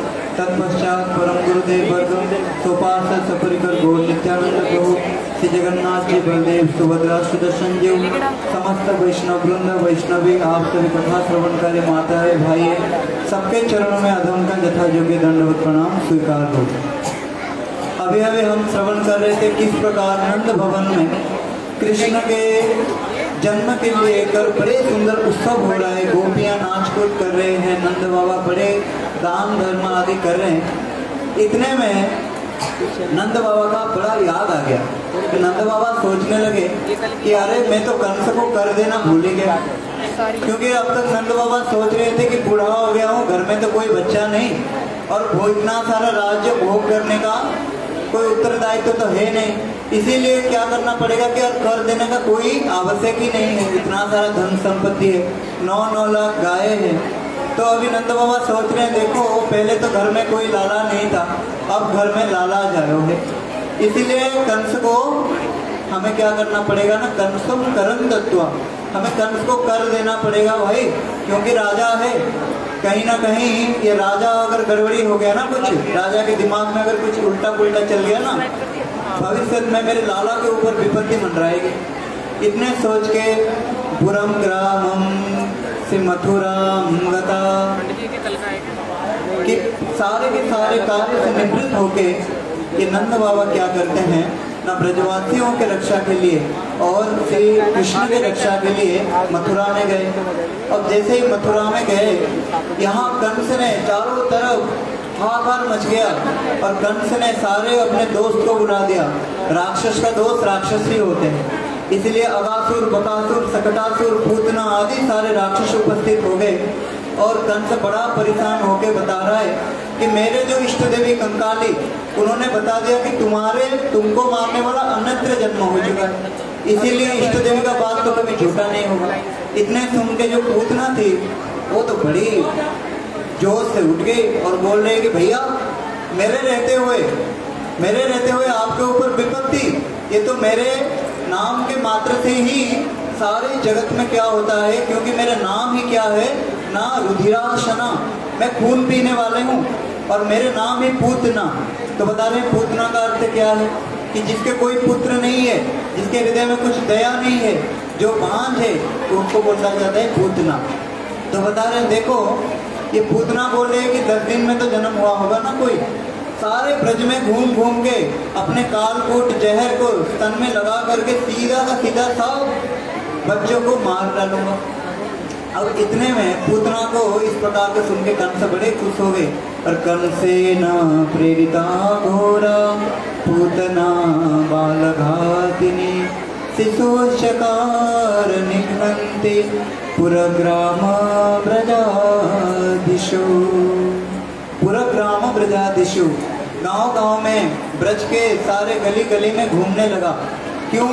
कि कंस के द्वारा प्रेरित होके कंस के द्वारा प्रेरित होके ये पूतना सारे शिशु चकार, सारे शिशुओं को मारने के लिए ये क्रूर बुद्धि पूतना गाँव गाँव में घूम रहे। अब इतने में ब्रज में तो बड़ा सुंदर बोलो भक्तवशर भगवान की ब्रज में बहुत सुंदर उत्सव हो रहे बोलो, नंद के आनंद भयो। अब इतने में थोड़े उत्सव का शांति वातावरण आया है उत्सव चल रहा है और पूतना आ गई ब्रज में। और पूतना का क्या अद्भुत शोभा, कमर में करधनी चरण में नुपुर और मानो आँख में ऐसे काजल लगा रखे कि अमावस्या को जो काला को आँख में धारण कर रखे, दिव्य सुंदर, दिव्य गवाह और इतना सुंदर पूतना का स्वरूप है। वहाँ पे बता रहे हैं कि रमा दिव्य दृश्य मतलब बता रहे हैं कि जो रमा यानी कि जो पार्वती के ऊपर भी और जो लक्ष्मी के ऊपर भी जो मानो कोई और एक देवी आ गई इतने सुंदर स्वरूप बना करके पूतना चली जा रही है ब्रज में। जैसे ही ब्रज में प्रवेश किया तो यहाँ पे टीकाकार प्रश्न पूछ रहे हैं भाई ये वृंदावन साधारण नहीं है। ये वृंदावन धाम कोई साधारण नहीं है। चिंतामणि प्रकर सत्मसु कल्प वृक्ष लक्षा सुरवीर विपालयन्त अरे यहाँ का जो धूल चिंतामणि है यहाँ पे वृक्ष कल्प वृक्ष है, और लक्ष्मी सहस्र सहस्र संभ्रमानम सेव्यमानम यहाँ पे सारे हज़ार हज़ार लक्ष्मी यहाँ पे झाड़ू लेके खड़े रहते हैं कि कब हमें वृंदावन में सेवा मिले। तो ये वृंदावन भाई साधारण नहीं है। तो ये पूतना, ये माया वृंदावन में कैसे घुस गया? तो यहाँ पे टीकाकार समाधान कर रहे हैं कि कृष्ण का ही इच्छा है। मानो ठाकुर का ही इच्छा है। ठाकुर ही स्वयं इच्छा कर रहे हैं, लीला कर रहे हैं। क्यों लीला कर रहे हैं? इच्छा क्यों कर रहे हैं? कि ठाकुर अभी अपने सूतिका ग्रह में है। सूतिका ग्रह मतलब यहाँ इस सूतिका ग्रह के एक विशेष तात्पर्य ये है कि इसी सूतिका ग्रह में पुरुष लोग प्रवेश नहीं करते। आजकल तो सारे संस्कार का सत्यानाश हो गया है, इसलिए पता नहीं लेकिन पूर्ण पूर्व काल में क्या था ना सूतिका ग्रह था, जिसमें केवल मैया अपने बच्चों को लेके एक छोटे से गृह में 21 दिन तक उसी गृह में ही रहती थी। 21 दिन के बाद किसी को बाहर निकाल करके स्नान आदि करवाते थे तो अभी कृष्ण सोच रहे हैं, भाई, छह दिन हो गया, मेरे ही उत्सव, ब्रज में चारों तरफ़ उत्सव हो रहा है। थोड़ा मैं तो घूम के देख रहा हूँ ब्रज में, थोड़ा बाहर तो निकलूं मैं, मेरे ही उत्सव और मैं सूतिका गृह में। इसीलिए कृष्ण के इस इच्छा को जान के, स्वयं इच्छा शक्ति जोग माया ने वहाँ पे पूतना को प्रेरित किया। अब पूतना जैसे ही ब्रज में आए, बड़े सुंदर पूतना का स्वरूप है और पूतना को देख के ब्रजवासी हंसने लगे। अरे, कोई एक ब्रजवासी देखकर बोलने लगा, अरे, देखो देखो, ये तो लग रही है स्वर्ग की अप्सरी आ गई। हमारे नंद को, लाला को देखने के भयो स्वर्ग की अप्सरी चली आ रही है। कोई एक अप्सरी, कोई एक गोपी बोले, अरे, अप्सरी ना है। अरे गोपी, ये अप्सरी ना है, ये सखी अप्सरी ना है। बोले, कौन है? बोले, ये स्वयं लक्ष्मी है। ये स्वयं लक्ष्मी वैकुंठ छोड़ करके आ रही है। एक गोपी बोल रहे हाँ आएगी ही क्यों ना? क्योंकि वैकुंठपति जो नारायण हमारे नंद के यहाँ जो आ गए। इसलिए मानो लक्ष्मी आ रही है। ऐसे करके सारे ब्रजगपी हँसी तिलही कर रहे हैं। अब इतने में पूतना धीरे धीरे अन्तपुर में प्रवेश किया। देखा अभी अभी यशोदा माता ने कृष्ण को जब स्तन बाँध करके ही पालने में लेटाए हैं और पूतना देखते ही इतना सुंदर उसका स्वरूप था, यशोदा माता भी मुग्ध हो गए। और पूतना बोल रही, अरे यशोदा, लग रहा है तुम्हें लालन पालन करना नहीं आता। लाड़ प्यार करना तुम्हें ठीक से नहीं आता। लग रहा है बूढ़ी उम्र में तुम्हें पुत्र प्राप्त हुआ है। इतने सुंदर पुत्र को कोई पालने में लेटा करके रखा है? ऐसे कर कर पूतना ने किया गया, ठाकुर जी को गोद में ले लिया जैसे ही पूतना ने ठाकुर जी को गोद में लिया और ठाकुर जी ने आँख बंद कर दी। तो टीकाकार कई सारे कारण बताते हैं, हम एक दो कारण को श्रवण करेंगे, समय का अभाव है। तो टीकाकार बता रहे हैं कि देखो, ठाकुर जी ने आँख क्यों बंद किया? तो पहला कारण बता रहे हैं कि पूतना ब्रज में क्यों आई है? शिशु चकार शिशु निघ्नती सारे बालकों को मारने के लिए आई है। तो कृष्ण सोच रहे हैं, भाई देखो, मैं ब्रज में आया हूँ और अकेले नहीं आया हूँ। मेरे साथ मेरे सखाए आए हैं, सखिए आए हैं, अभी भी वो छोटे छोटे हैं। तो मानो ये पूतना आया है, मेरी आई है मेरी सखा सखी को मारने के लिए। मेरे साथ मुझे तो क्या करेगा? मुझे तो मेरे तो विघ्न करेगा करेगा। मेरे सखा सखी का भी विघ्न कर दे, कर देगा। अब भाई, मैं जब बड़ा होऊँगा, थोड़ा बड़ा होके ब्रज में लीला किसके साथ करूँगा? खेलूँगा, कूदूँगा किसके साथ? इसीलिए ठाकुर चाह रहे हैं कि मैं इसके मुख नहीं देखना चाहता हूँ। मैं इसके मुख नहीं देखूँगा।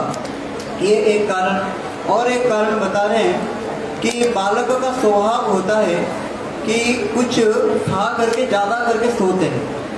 अभी मानो यशोमती मैया उनको स्तन्यपान करवाए और पालने में लेटाया है। तो इसका तात्पर्य ये है कि मानो कृष्ण को नींद आ रहा है। और एक अर्थ में जैसे बच, बच्चों का एक स्वभाव होता है ना कोई अनजान व्यक्ति के पास जाते हैं तो डर के मारे आँख बंद कर देते हैं। होता है कि नहीं? तो मानो कृष्ण सोच रहे हैं भाई ब्रज में तो इतने सारे गोपियाँ हैं ये तो मेरे निजजन है। ये कहाँ से आ गई? ये कहाँ से आ गई? पूतना। इसीलिए पूतना को देख के ठाकुर जी ने आँख बंद कर दी। और एक कारण है, पूतना क्यों आई है? पूतना क्यों आई है? और ठाकुर क्यों आए हैं? देखो, ठाकुर इसलिए आए हैं कि यदा यदा हि धर्मस्य ग्लानिर्भवतु भारत, अभ्युत्थानधर्मस्य तदात्मानं सृजाम्यहं, परित्राणाय साधूनां विनाशाय च दुष्कृतां। धर्मसंस्थापनार्थाय सम्भवामि युगे युगे। धर्म स्थापन करने के लिए परित्राणाय साधु नाम विनाशाय च दुष्कृतम दुष्टों को विनाश करने के लिए ठाकुर आए हैं। इसलिए ठाकुर सोच रहे हैं कि मैं तो दुष्टों को मारने के लिए आया हूँ। और ये पूतना मुझे थोड़े देर के लिए क्यों ना माँ का प्रेम देना चाहता है। अब ये जब मैं इसको मारूँगा, ये बड़े छटपटाएगा, बड़े चिल्लाएगा, इसलिए इसका जो कष्ट को मैं नहीं देख सकता। इसलिए ठाकुर कितने दयालु है और आँख बंद कर दी। पूतना क्यों आई है? तो बता रहे पूतना स्तन में कालकूट जहर लेके आई है, कृष्ण को मुख में देने के लिए। और ठाकुर जी के हृदय में अनंत कोटि ब्रह्मांड है। देवता कांपने लगे, ब्रह्मा शिव जी कांपने लगे, बोले, प्रभु, आपके हृदय में अनंत कोटि ब्रह्मांड है। और ये पूतना आपको अभी जहर पिला देगी। ब्रह्मांड का क्या होगा? जीवों का क्या होगा? इसलिए मानो ठाकुर जी आँख बंद करके शिव जी को याद कर रहे हैं। अभी अभी हम श्रवण किए ना समुद्र मंथन की कथा। शिव जी को याद कर रहे हैं। बोले, भोले बाबा। शिव जी बोले, जय हो प्रभु, बोलिए। बोले, आ जाओ। बोले, ठीक है आगे क्या करूँगा? बोले, देखो, दूध दूध पीना मेरा काम है और जहर जहर पीना आपका काम है। आप जहर जहर पी जाओ और मैं दूध दूध पी जाऊँ। और एक कारण बता रहे हैं कि कृष्ण मन ही मन सोच रहे हैं कि जिन अनंत कोटि विश्व ब्रह्मांड के जो मालिक हैं ठाकुर, जिनको लक्ष्मी भी स्तुति करते हैं, ब्रह्मा स्तुति करते हैं शिव जी स्तुति करते हैं, ये पूतना ने पूर्व जन्म में कौन से ऐसे पुण्य काम किया? जिसको गोस्वामी जी कहते हैं, जन्म जन्म, मुनि जतन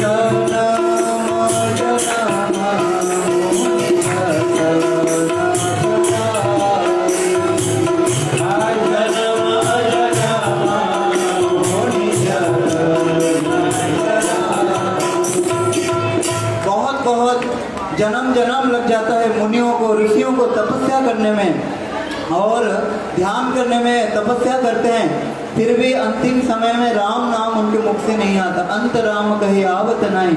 भगवान को दर्शन करने के, भगवान को स्पर्श करने के उनको अधिकार नहीं मिलता। ब्रह्मा बहुत दिन तक तपस्या करते हैं। यद्यपि समाधि से विधिरति पश्यति, न तब नखाग्रम ऋषि। कि ब्रह्मा विधाता ध्यान करते हैं, फिर भी भगवान की जो नख कमल के नख कि जो छटा को भी देख नहीं पाते, ये ब्रह्मा जी की स्थिति है। तो ठाकुर सोच रहे हैं, अरे ये पूतना ने पूर्व जन्म में कौन से ऐसे पुण्य कर लिया, जो मुझे देखो तो स्पर्श से तो बात छोड़ो, मुझे गोद में उठा लिया। ये पूतना कौन है? तो ध्यान करके देख रहे हैं, ये पूतना और कोई नहीं है। ये जिस समय अभी हम गुरु महाराज जी के मुखार बिंद से श्रवण कर रहे थे, कि जिस समय बामन देव आते हैं, ये बामन देव को देख के बलि महाराज जी की छोटी पुत्री, ये बड़े बामन देव को देखकर बड़े वात्सल्य प्रेम हुआ और बामन देव को सोचने लगा, ये अगर मेरे अगर छोटे बच्चे होता तो मैं इसको दुग्ध पान करा था स्तन पान करा था लेकिन जब भगवान वामन देव ने बलि महाराज जी का सर्वस्व हरण कर लिया, तब ये सोचने लगा, अरे, कितना क्रूर है। लग तो रहा था छोटा बच्चा। अब देखो त्रिविक्रम रूप धारण करके सभी ले लिया मेरे पिताजी के। अगर ये मेरा बच्चा होता तो मैं इसको क्या करता? इसको पूरा का पूरा अपने जहर दे के कालकूट बीज अपने स्तन में दे के इसको पिला के मार देते इतना जो बलि महाराज जी का जो पुत्री का जो मनोभाव, ठाकुर सर्वंतर्यामी हृदय में इनको सब जान करके, ये क्या किए? ना पूतना, वही बलि महाराज जी के जो बेटी, ये पूतना बन गया है। इतने में ठाकुर जी को पूतना ने गोद में उठाई और उठा करके कालकूट जहर को ठाकुर जी के मुख में दिए। और जैसे ही ठाकुर जी ने शोषण करना शुरू किए, उतने समय में धीरे धीरे ठाकुर जी दुग्ध पान करते करते उसको प्राण को शोषण करना शुरू कर दिए। पूतना छुड़ाने लगे, दस हज़ार हाथी के बल पूतना। माँ मुझे माँ मुझे अरे छोड़ दो मुझे, छोड़ दो। अब इतने सुन करके वो समझ गई कि ये निश्चित रूप में कोई साधारण बालक नहीं हो सकता, क्योंकि मैं दस हज़ार हाथी के बल रखने वाली पूतना और ये छह दिन के बच्चा, लग रहा है यही कंस को मारने वाला है। और जैसे ही पूतना वहाँ से भाग करके सोच करके कंस के महल के तरफ़ जा रहे थे और बड़े अपने स्वरूप में आ गई, ब्रज में हल्ला पड़ गया, ब्रज में अपसगुन दिखाई देने लगे। अब इतने में पूतना गए तो गए और ठाकुर जी ने उसको प्राण को हरण तस्म प्राण रोधनम, उसके प्राण को हरण कर लिया और पूतना गिरी तो कहाँ गिरी? बता रहे कंस के एक बगीचे, जिस बगीचे के फल, फूल, केवल कंस को ही जाता था। भगवान की सेवा में नहीं लगता था। इसीलिए उसी बगीचे में पूतना गिर गई। अब जैसे ही पूतना वहाँ पे गिरी, ब्रजवासी वहाँ पे जाते हैं और धीरे धीरे पूतना के स्तन के ऊपर जैसे मानो नीलमणि सदृश कृष्ण को धीरे धीरे उतार करके और कृष्ण को गोमूत्र ने स्नापित तो अपनो गोवर गोरज अर्भकम कृष्ण को द्वादश अंग में तिलक किया गोबर गोमूत्र से स्नान करवाया और कृष्ण को फिर से विशेष करके स्वस्ति वाचन ब्राह्मण आदि को बुला करके स्वस्ति वाचन दान, धर्म आदि किया। तो देखो इसमें एक शिक्षा देने वाले बात बता रहे कि बता रहे हैं कि देखो पूतना गिरी तो कहाँ गिरी?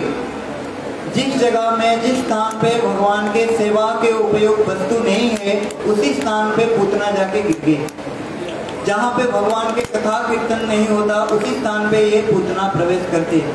इसलिए माताएँ सावधान। माताएँ, आप लोगों के लिए सावधान। देखो, ध्यान से सुनो। ये काम वाली बात है, बड़ा ध्यान से सुनो। तो देखो, पूतना आई और पूतना को ठाकुर जी ने उद्धार भी कर दिया।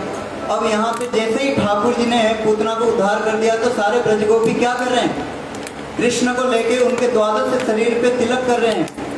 स्वयं कृष्ण के नाम ले लेकर के कृष्ण का अंग पे तिलक कर रहे हैं। तो देखो, हमारे सनातन धर्म में ये तिलक, ये कंठी का बड़ा महिमा है।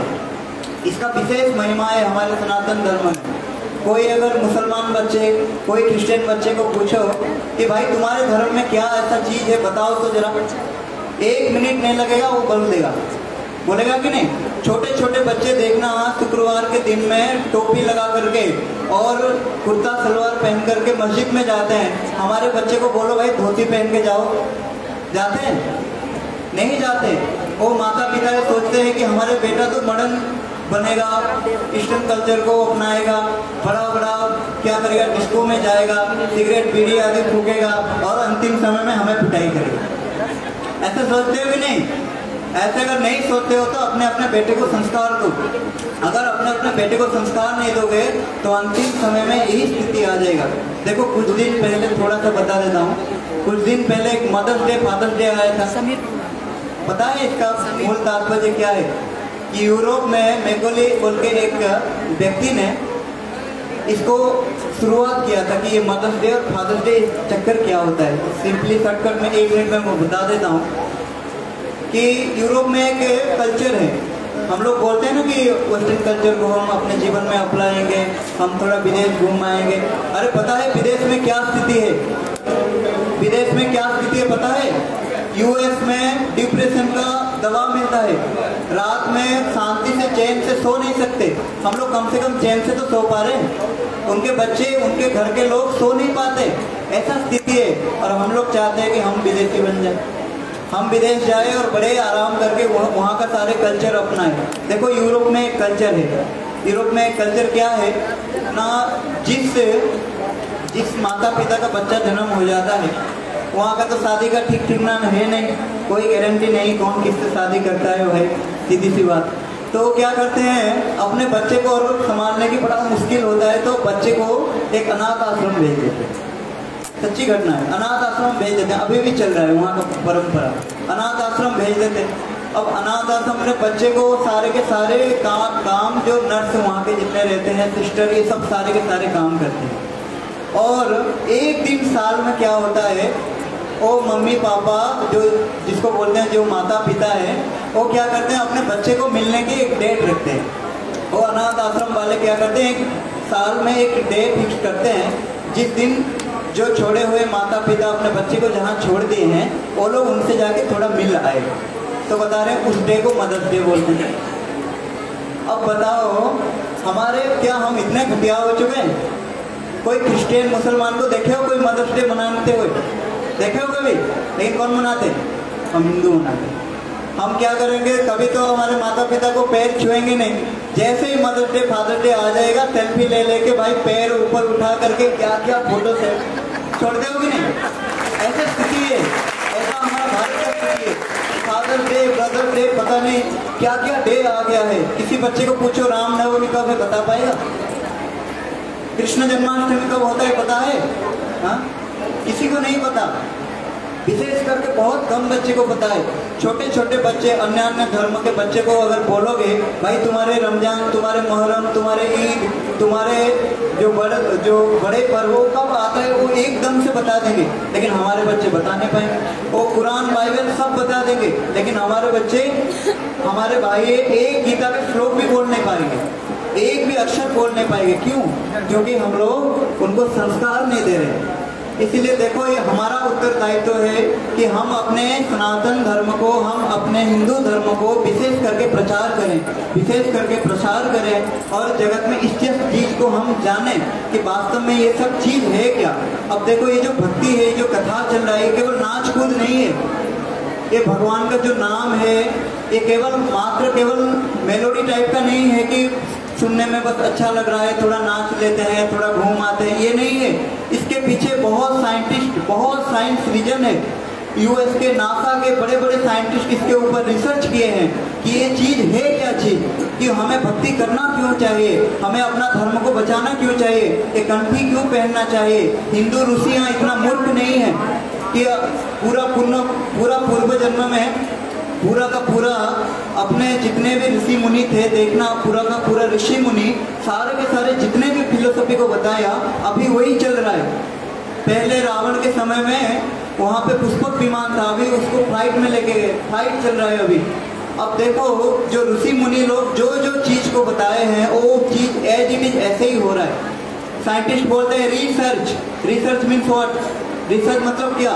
सर्च ऑलरेडी हो चुका है। पुनः उसको रिसर्च करने की क्या ज़रूरत है, उसको ऊपर फिर से बता देते हैं और अपना एक टीका लगा देते हैं। एक एक फूरे लगा देते हैं। हाँ एक एक फूरे लगा देते हैं, लेकिन वो भी पूरा ठीक नहीं है। एक साइंटिस्ट आता है न्यूट्रॉन का तीन लो तीन लो है क्यों हो गए एक होना चाहिए कि नहीं? एक ने आया बता दिया कि इस, इसके ऊपर इसने एक फिलोसफी लिख दिया। दूसरे साइंटिस्ट आता है अरे, ये अच्छा नहीं है, इसके ऊपर टीका लगा करके, अरे, दूसरा फिलोसफी लिख दिया।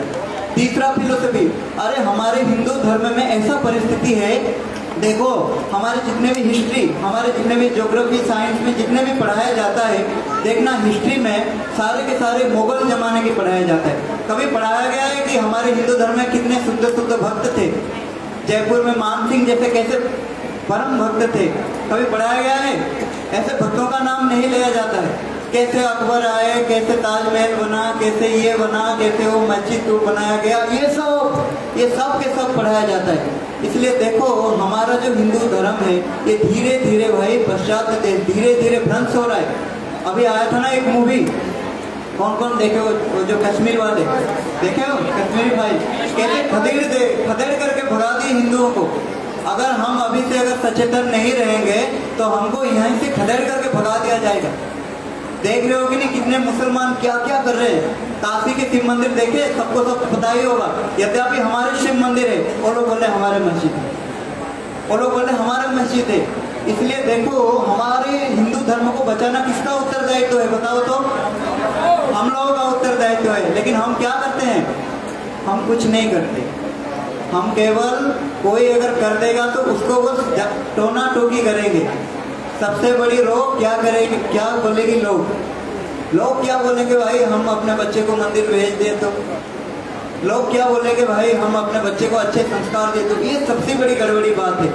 इसलिए देखो कौन कौन माताएँ, मैं आपको एक प्रश्न पूछ रहा हूँ। कौन कौन माताएँ अपने बच्चे को अच्छे संस्कार नहीं देना चाहते? कौन कौन माताएँ चाह रहे हैं कि अपने बच्चे शराब आदि सिगरेट फूके और इधर उधर के उल्टा पुल्टा काम करके बुढ़ापे में हमारा सहारा नहीं बने, एक बार हाथ उठाओ तो। कौन कौन चाहते हो? कोई नहीं चाहते? कोई भी नहीं चाहते तो? और कौन कौन भाई लोग चाहते हैं कि अपने माता पिता की सेवा करें? सनातन हिंदू धर्म के सेवा करें। कौन कौन चाहते हो? हाथ उठाओ। अरे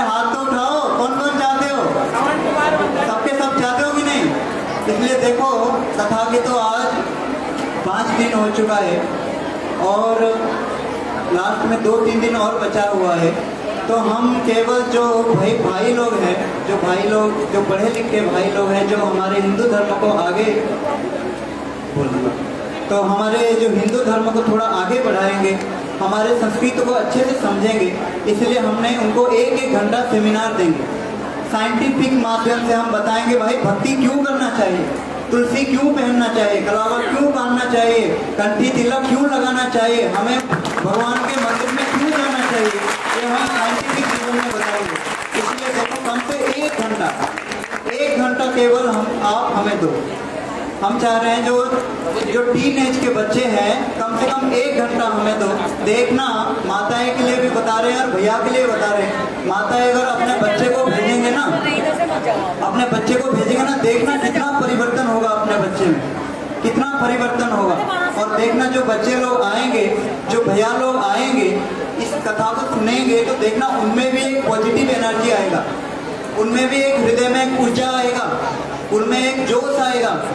देखना ये कितना अच्छा चीज़ है। हम तो तीन तीन घंटे के मूवी देखने के लिए छह घंटा लाइन में खड़े रहते हैं। होता है कि नहीं? दिल्ली की बात है, कुछ मूवी आया, भूल भुलैया। तो 12 घंटे तक लाइन में खड़े रहे किसी एक थिएटर में। दिखा रहा था न्यूज़ में। तो बताओ। तो बताओ। तो हम एक घंटा समय देखेंगे नहीं? कौन कौन एक घंटा समय दोगे? बच्चे।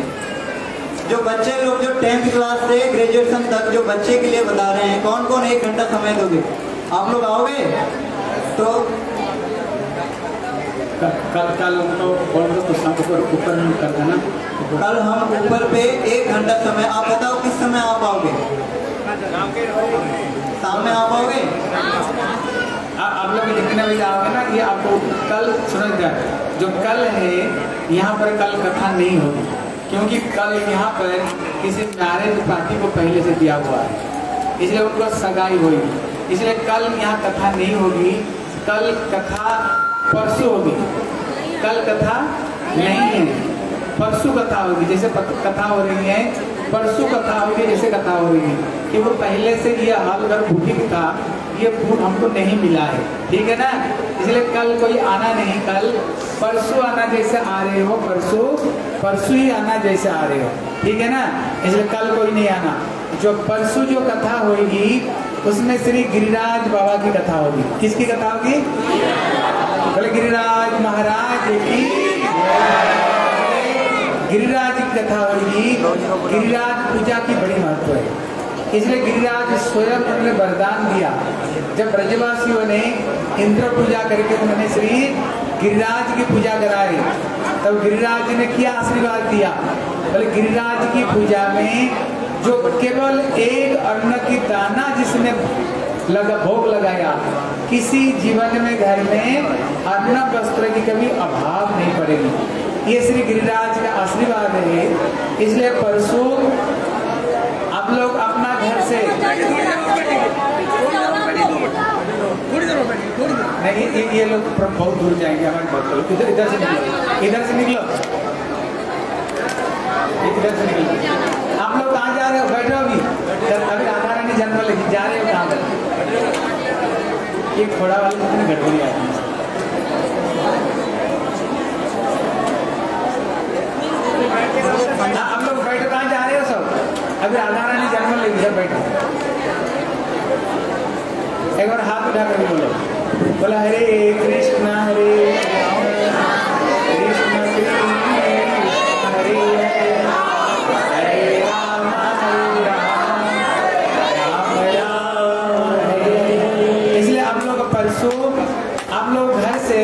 कुछ ना कुछ गिरिराज के लिए बना करके लाना।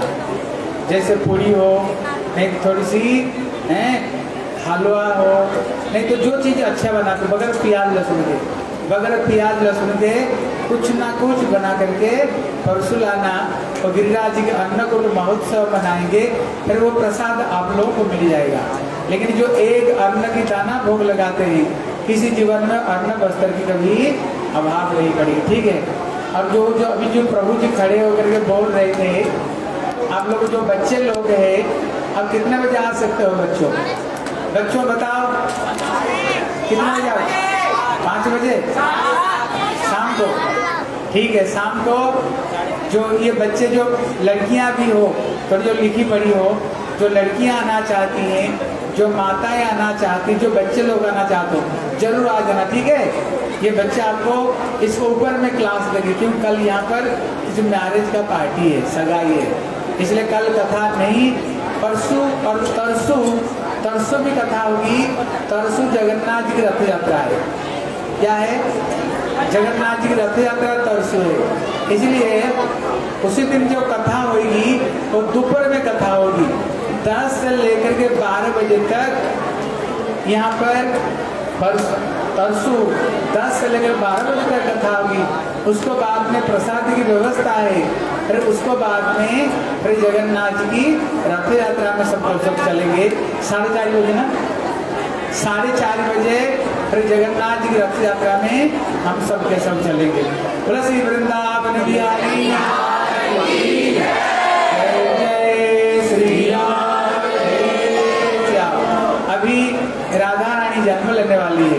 अभी श्री राधा रानी आएगी, इसको बाद में हम लोग सबके सब प्रसाद लेकर जाना सब बैठ जाओ, कोई उठना नहीं अभी राधा रानी आने वाली है। बोले श्रीमती राधा रानी की बोले श्री वृषभान महाराज की बोले श्री कीर्तिका सुंदर की जय। जय श्री हाँ अभी राधा रानी कथा जो व्यक्ति डायरेक्ट ये भागवत ग्रंथ को पढ़ता है कोई कोई खड़े नहीं होना बैठ सब बैठ जाओ माताएँ कोई खड़े नहीं होना। पाप लगेगा कथा को बीच में जाने से। सब बैठो। हरे कृष्णा। अभी जो व्यक्ति कहते, जो व्यक्ति ये भागवत ग्रंथ को डायरेक्ट पढ़ेगा, आप देखना, वहाँ पर कहीं भी राधा का नाम को नहीं मिलेगा। इसलिए कुछ लोग कहते हैं, जैसे वृंदावन में जाओ, किसके नाम लेते हैं? राधा रानी का नाम। कुछ लोग कहते हैं तुम लोग तो खूब राधे राधे राधे राधे बोलते हो।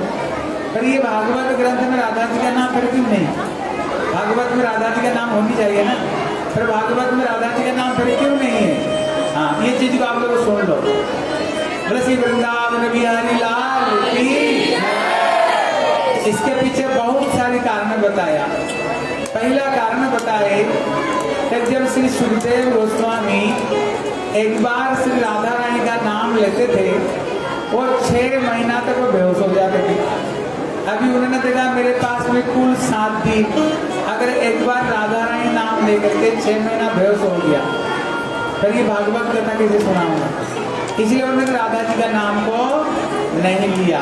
ये पहला कारण है। दूसरा कारण बताए, श्री सुखदेव गोस्वामी राधा रानी से प्रश्न करती बोले राधे आपका नाम को हम किस रूप में ग्रहण करें?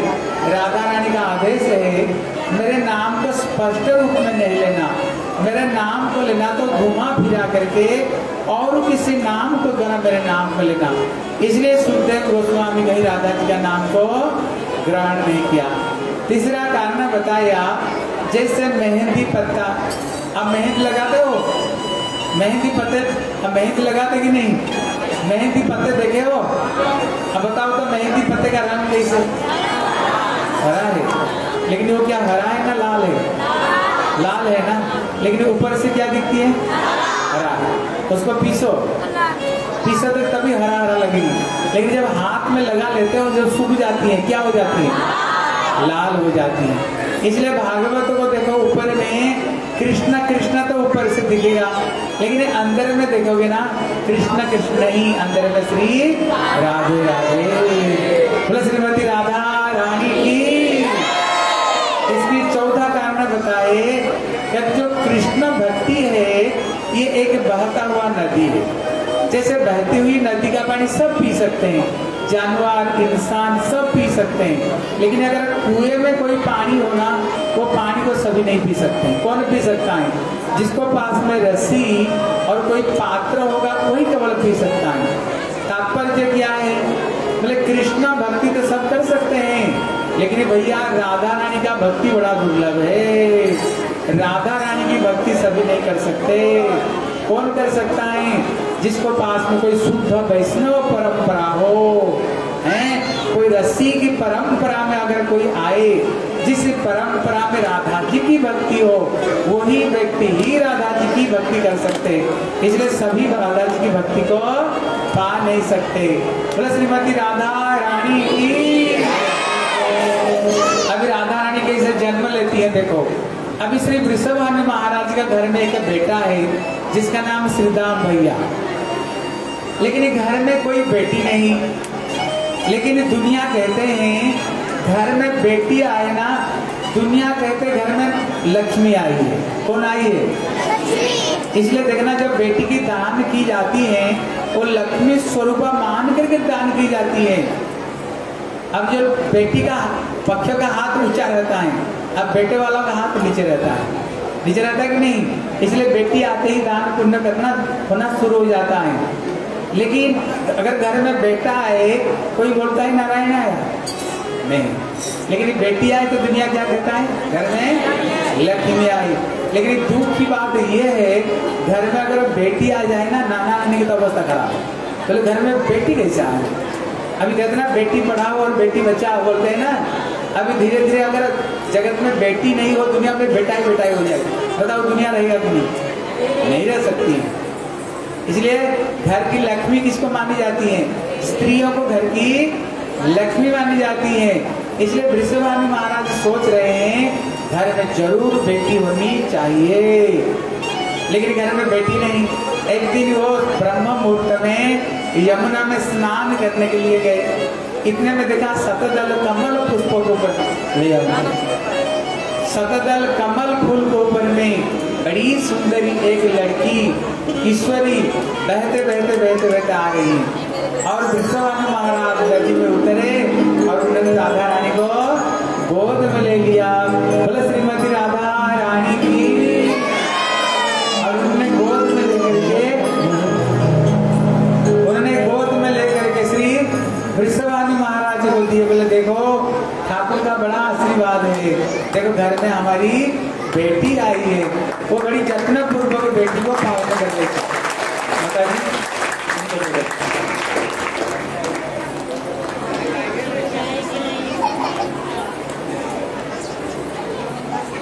बोलो वृंदावन बिहारी लाल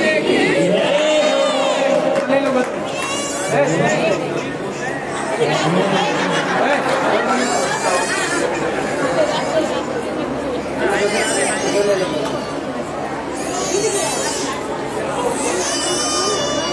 ऐसे लेके बच्चों को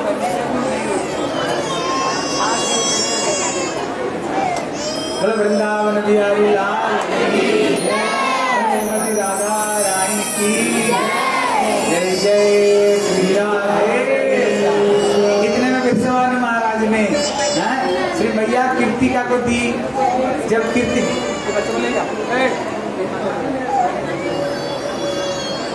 इसलिए उन्होंने श्री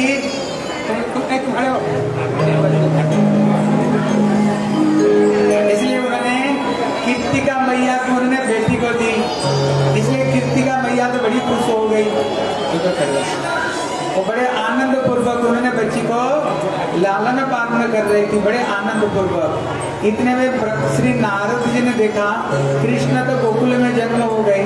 ज़रूर कृष्ण कहीं ना कहीं जन्म हुए। इसलिए नारद गली गलियों में ढूंढ रहे थे। जब श्री विश्वान महाराज का घर में आए, बोले, आपके घर में कोई संतान भय हो तब उन्होंने बेटे को दिखाया, बोले, कोई बेटी हुई कि नहीं? और चुप हो गए, क्योंकि उनको यमुना से मिली थी। तब उन्होंने बोले, बेटी भी हुई। बोले ले करके आओ। जब बेटी को ले करके आते हैं और देख करके नारद जी पहचान जाते हैं अरे यही तो कृष्ण की पूर्ण शक्ति, लादिनी शक्ति और पराशक्ति। श्री, इनको ही तो मैं ढूंढ रहा था। इतने में नारद जी उनको स्तुति करना चाहते हैं और उन्होंने बहाना बनाया, जाओ, कुछ फूल ले आओ, बच्चे को तुम्हें आशीर्वाद दूँगा। जब अंदर में गए वृषभानु महाराज, इतने में राधा रानी एकदम किशोरी बन गई। अष्ट सखियाँ प्रकट हो गई। और इतने में नारद जी राधा रानी को बड़ी सुंदर स्तुति करते हैं। देखो, ये स्तुति का नाम है राधा, कृपा कटाक्ष स्तोत्र। अगर ये स्तोत्र को कोई पढ़ता है, उसको ऊपर में ज़रूर राधा रानी कृपा होगी, ज़रूर होगी। और राधा कुंड में खड़े होकर के 108 बार अगर ये स्त्रोत्र को कोई पढ़ेगा तो राधा रानी स्वयं प्रकट होकर के उनको दर्शन देती हैं। इतने महिमा ये स्त्रोत्र की। इसका मैं दो लाइन पढ़ लेता हूँ। बल मुनीन्द्र वृंद बंदिते त्रिलोक शोक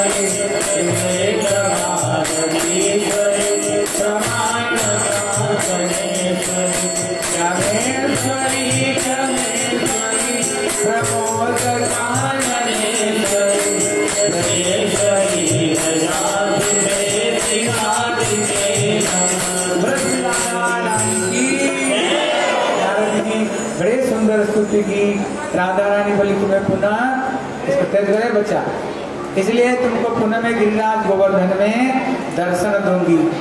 ऋषभानु महाराज पूरा ब्रजमंडल में उन्होंने नौता दे दिया। बोले, मेरे घर में लाली भाई सबके सब आओ। ऋषभानु महाराज जब नौता दिए नंद बाबा ने भी बोले। इतने में नंद बाबा भी अपना बेटा कृष्ण को लेकर के आए। लेकिन श्री राधा रानी जब से जन्म हुई, वो आँख बंद कर रखी थी, आँख नहीं खुली। क्यों बोले सबसे पहले मैं कृष्ण को दर्शन करूँगी, फिर मैं दुनिया को कभी देखूँगी। इतने में वृषभ नंद बाबा कृष्ण को ला करके राधा जी को पास में लेटा दी। इतने में कृष्ण अपना हाथ को श्री राधा रानी को ऊपर रखते ही कृष्ण का स्पर्श पाते ही राधा रानी आँख खोल दी। जब आँख खोल दी उन्होंने सामने से कृष्ण को दर्शन की। वृषभान महाराज तो प्रसन्न थे, लेकिन बेटी जन्म से आँख बंद की हुई थी। इसलिए दुखी थे।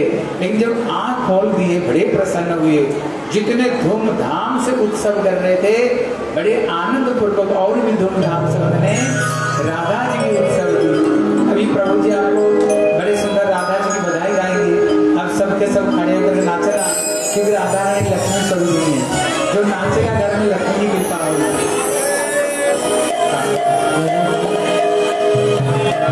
बोलिए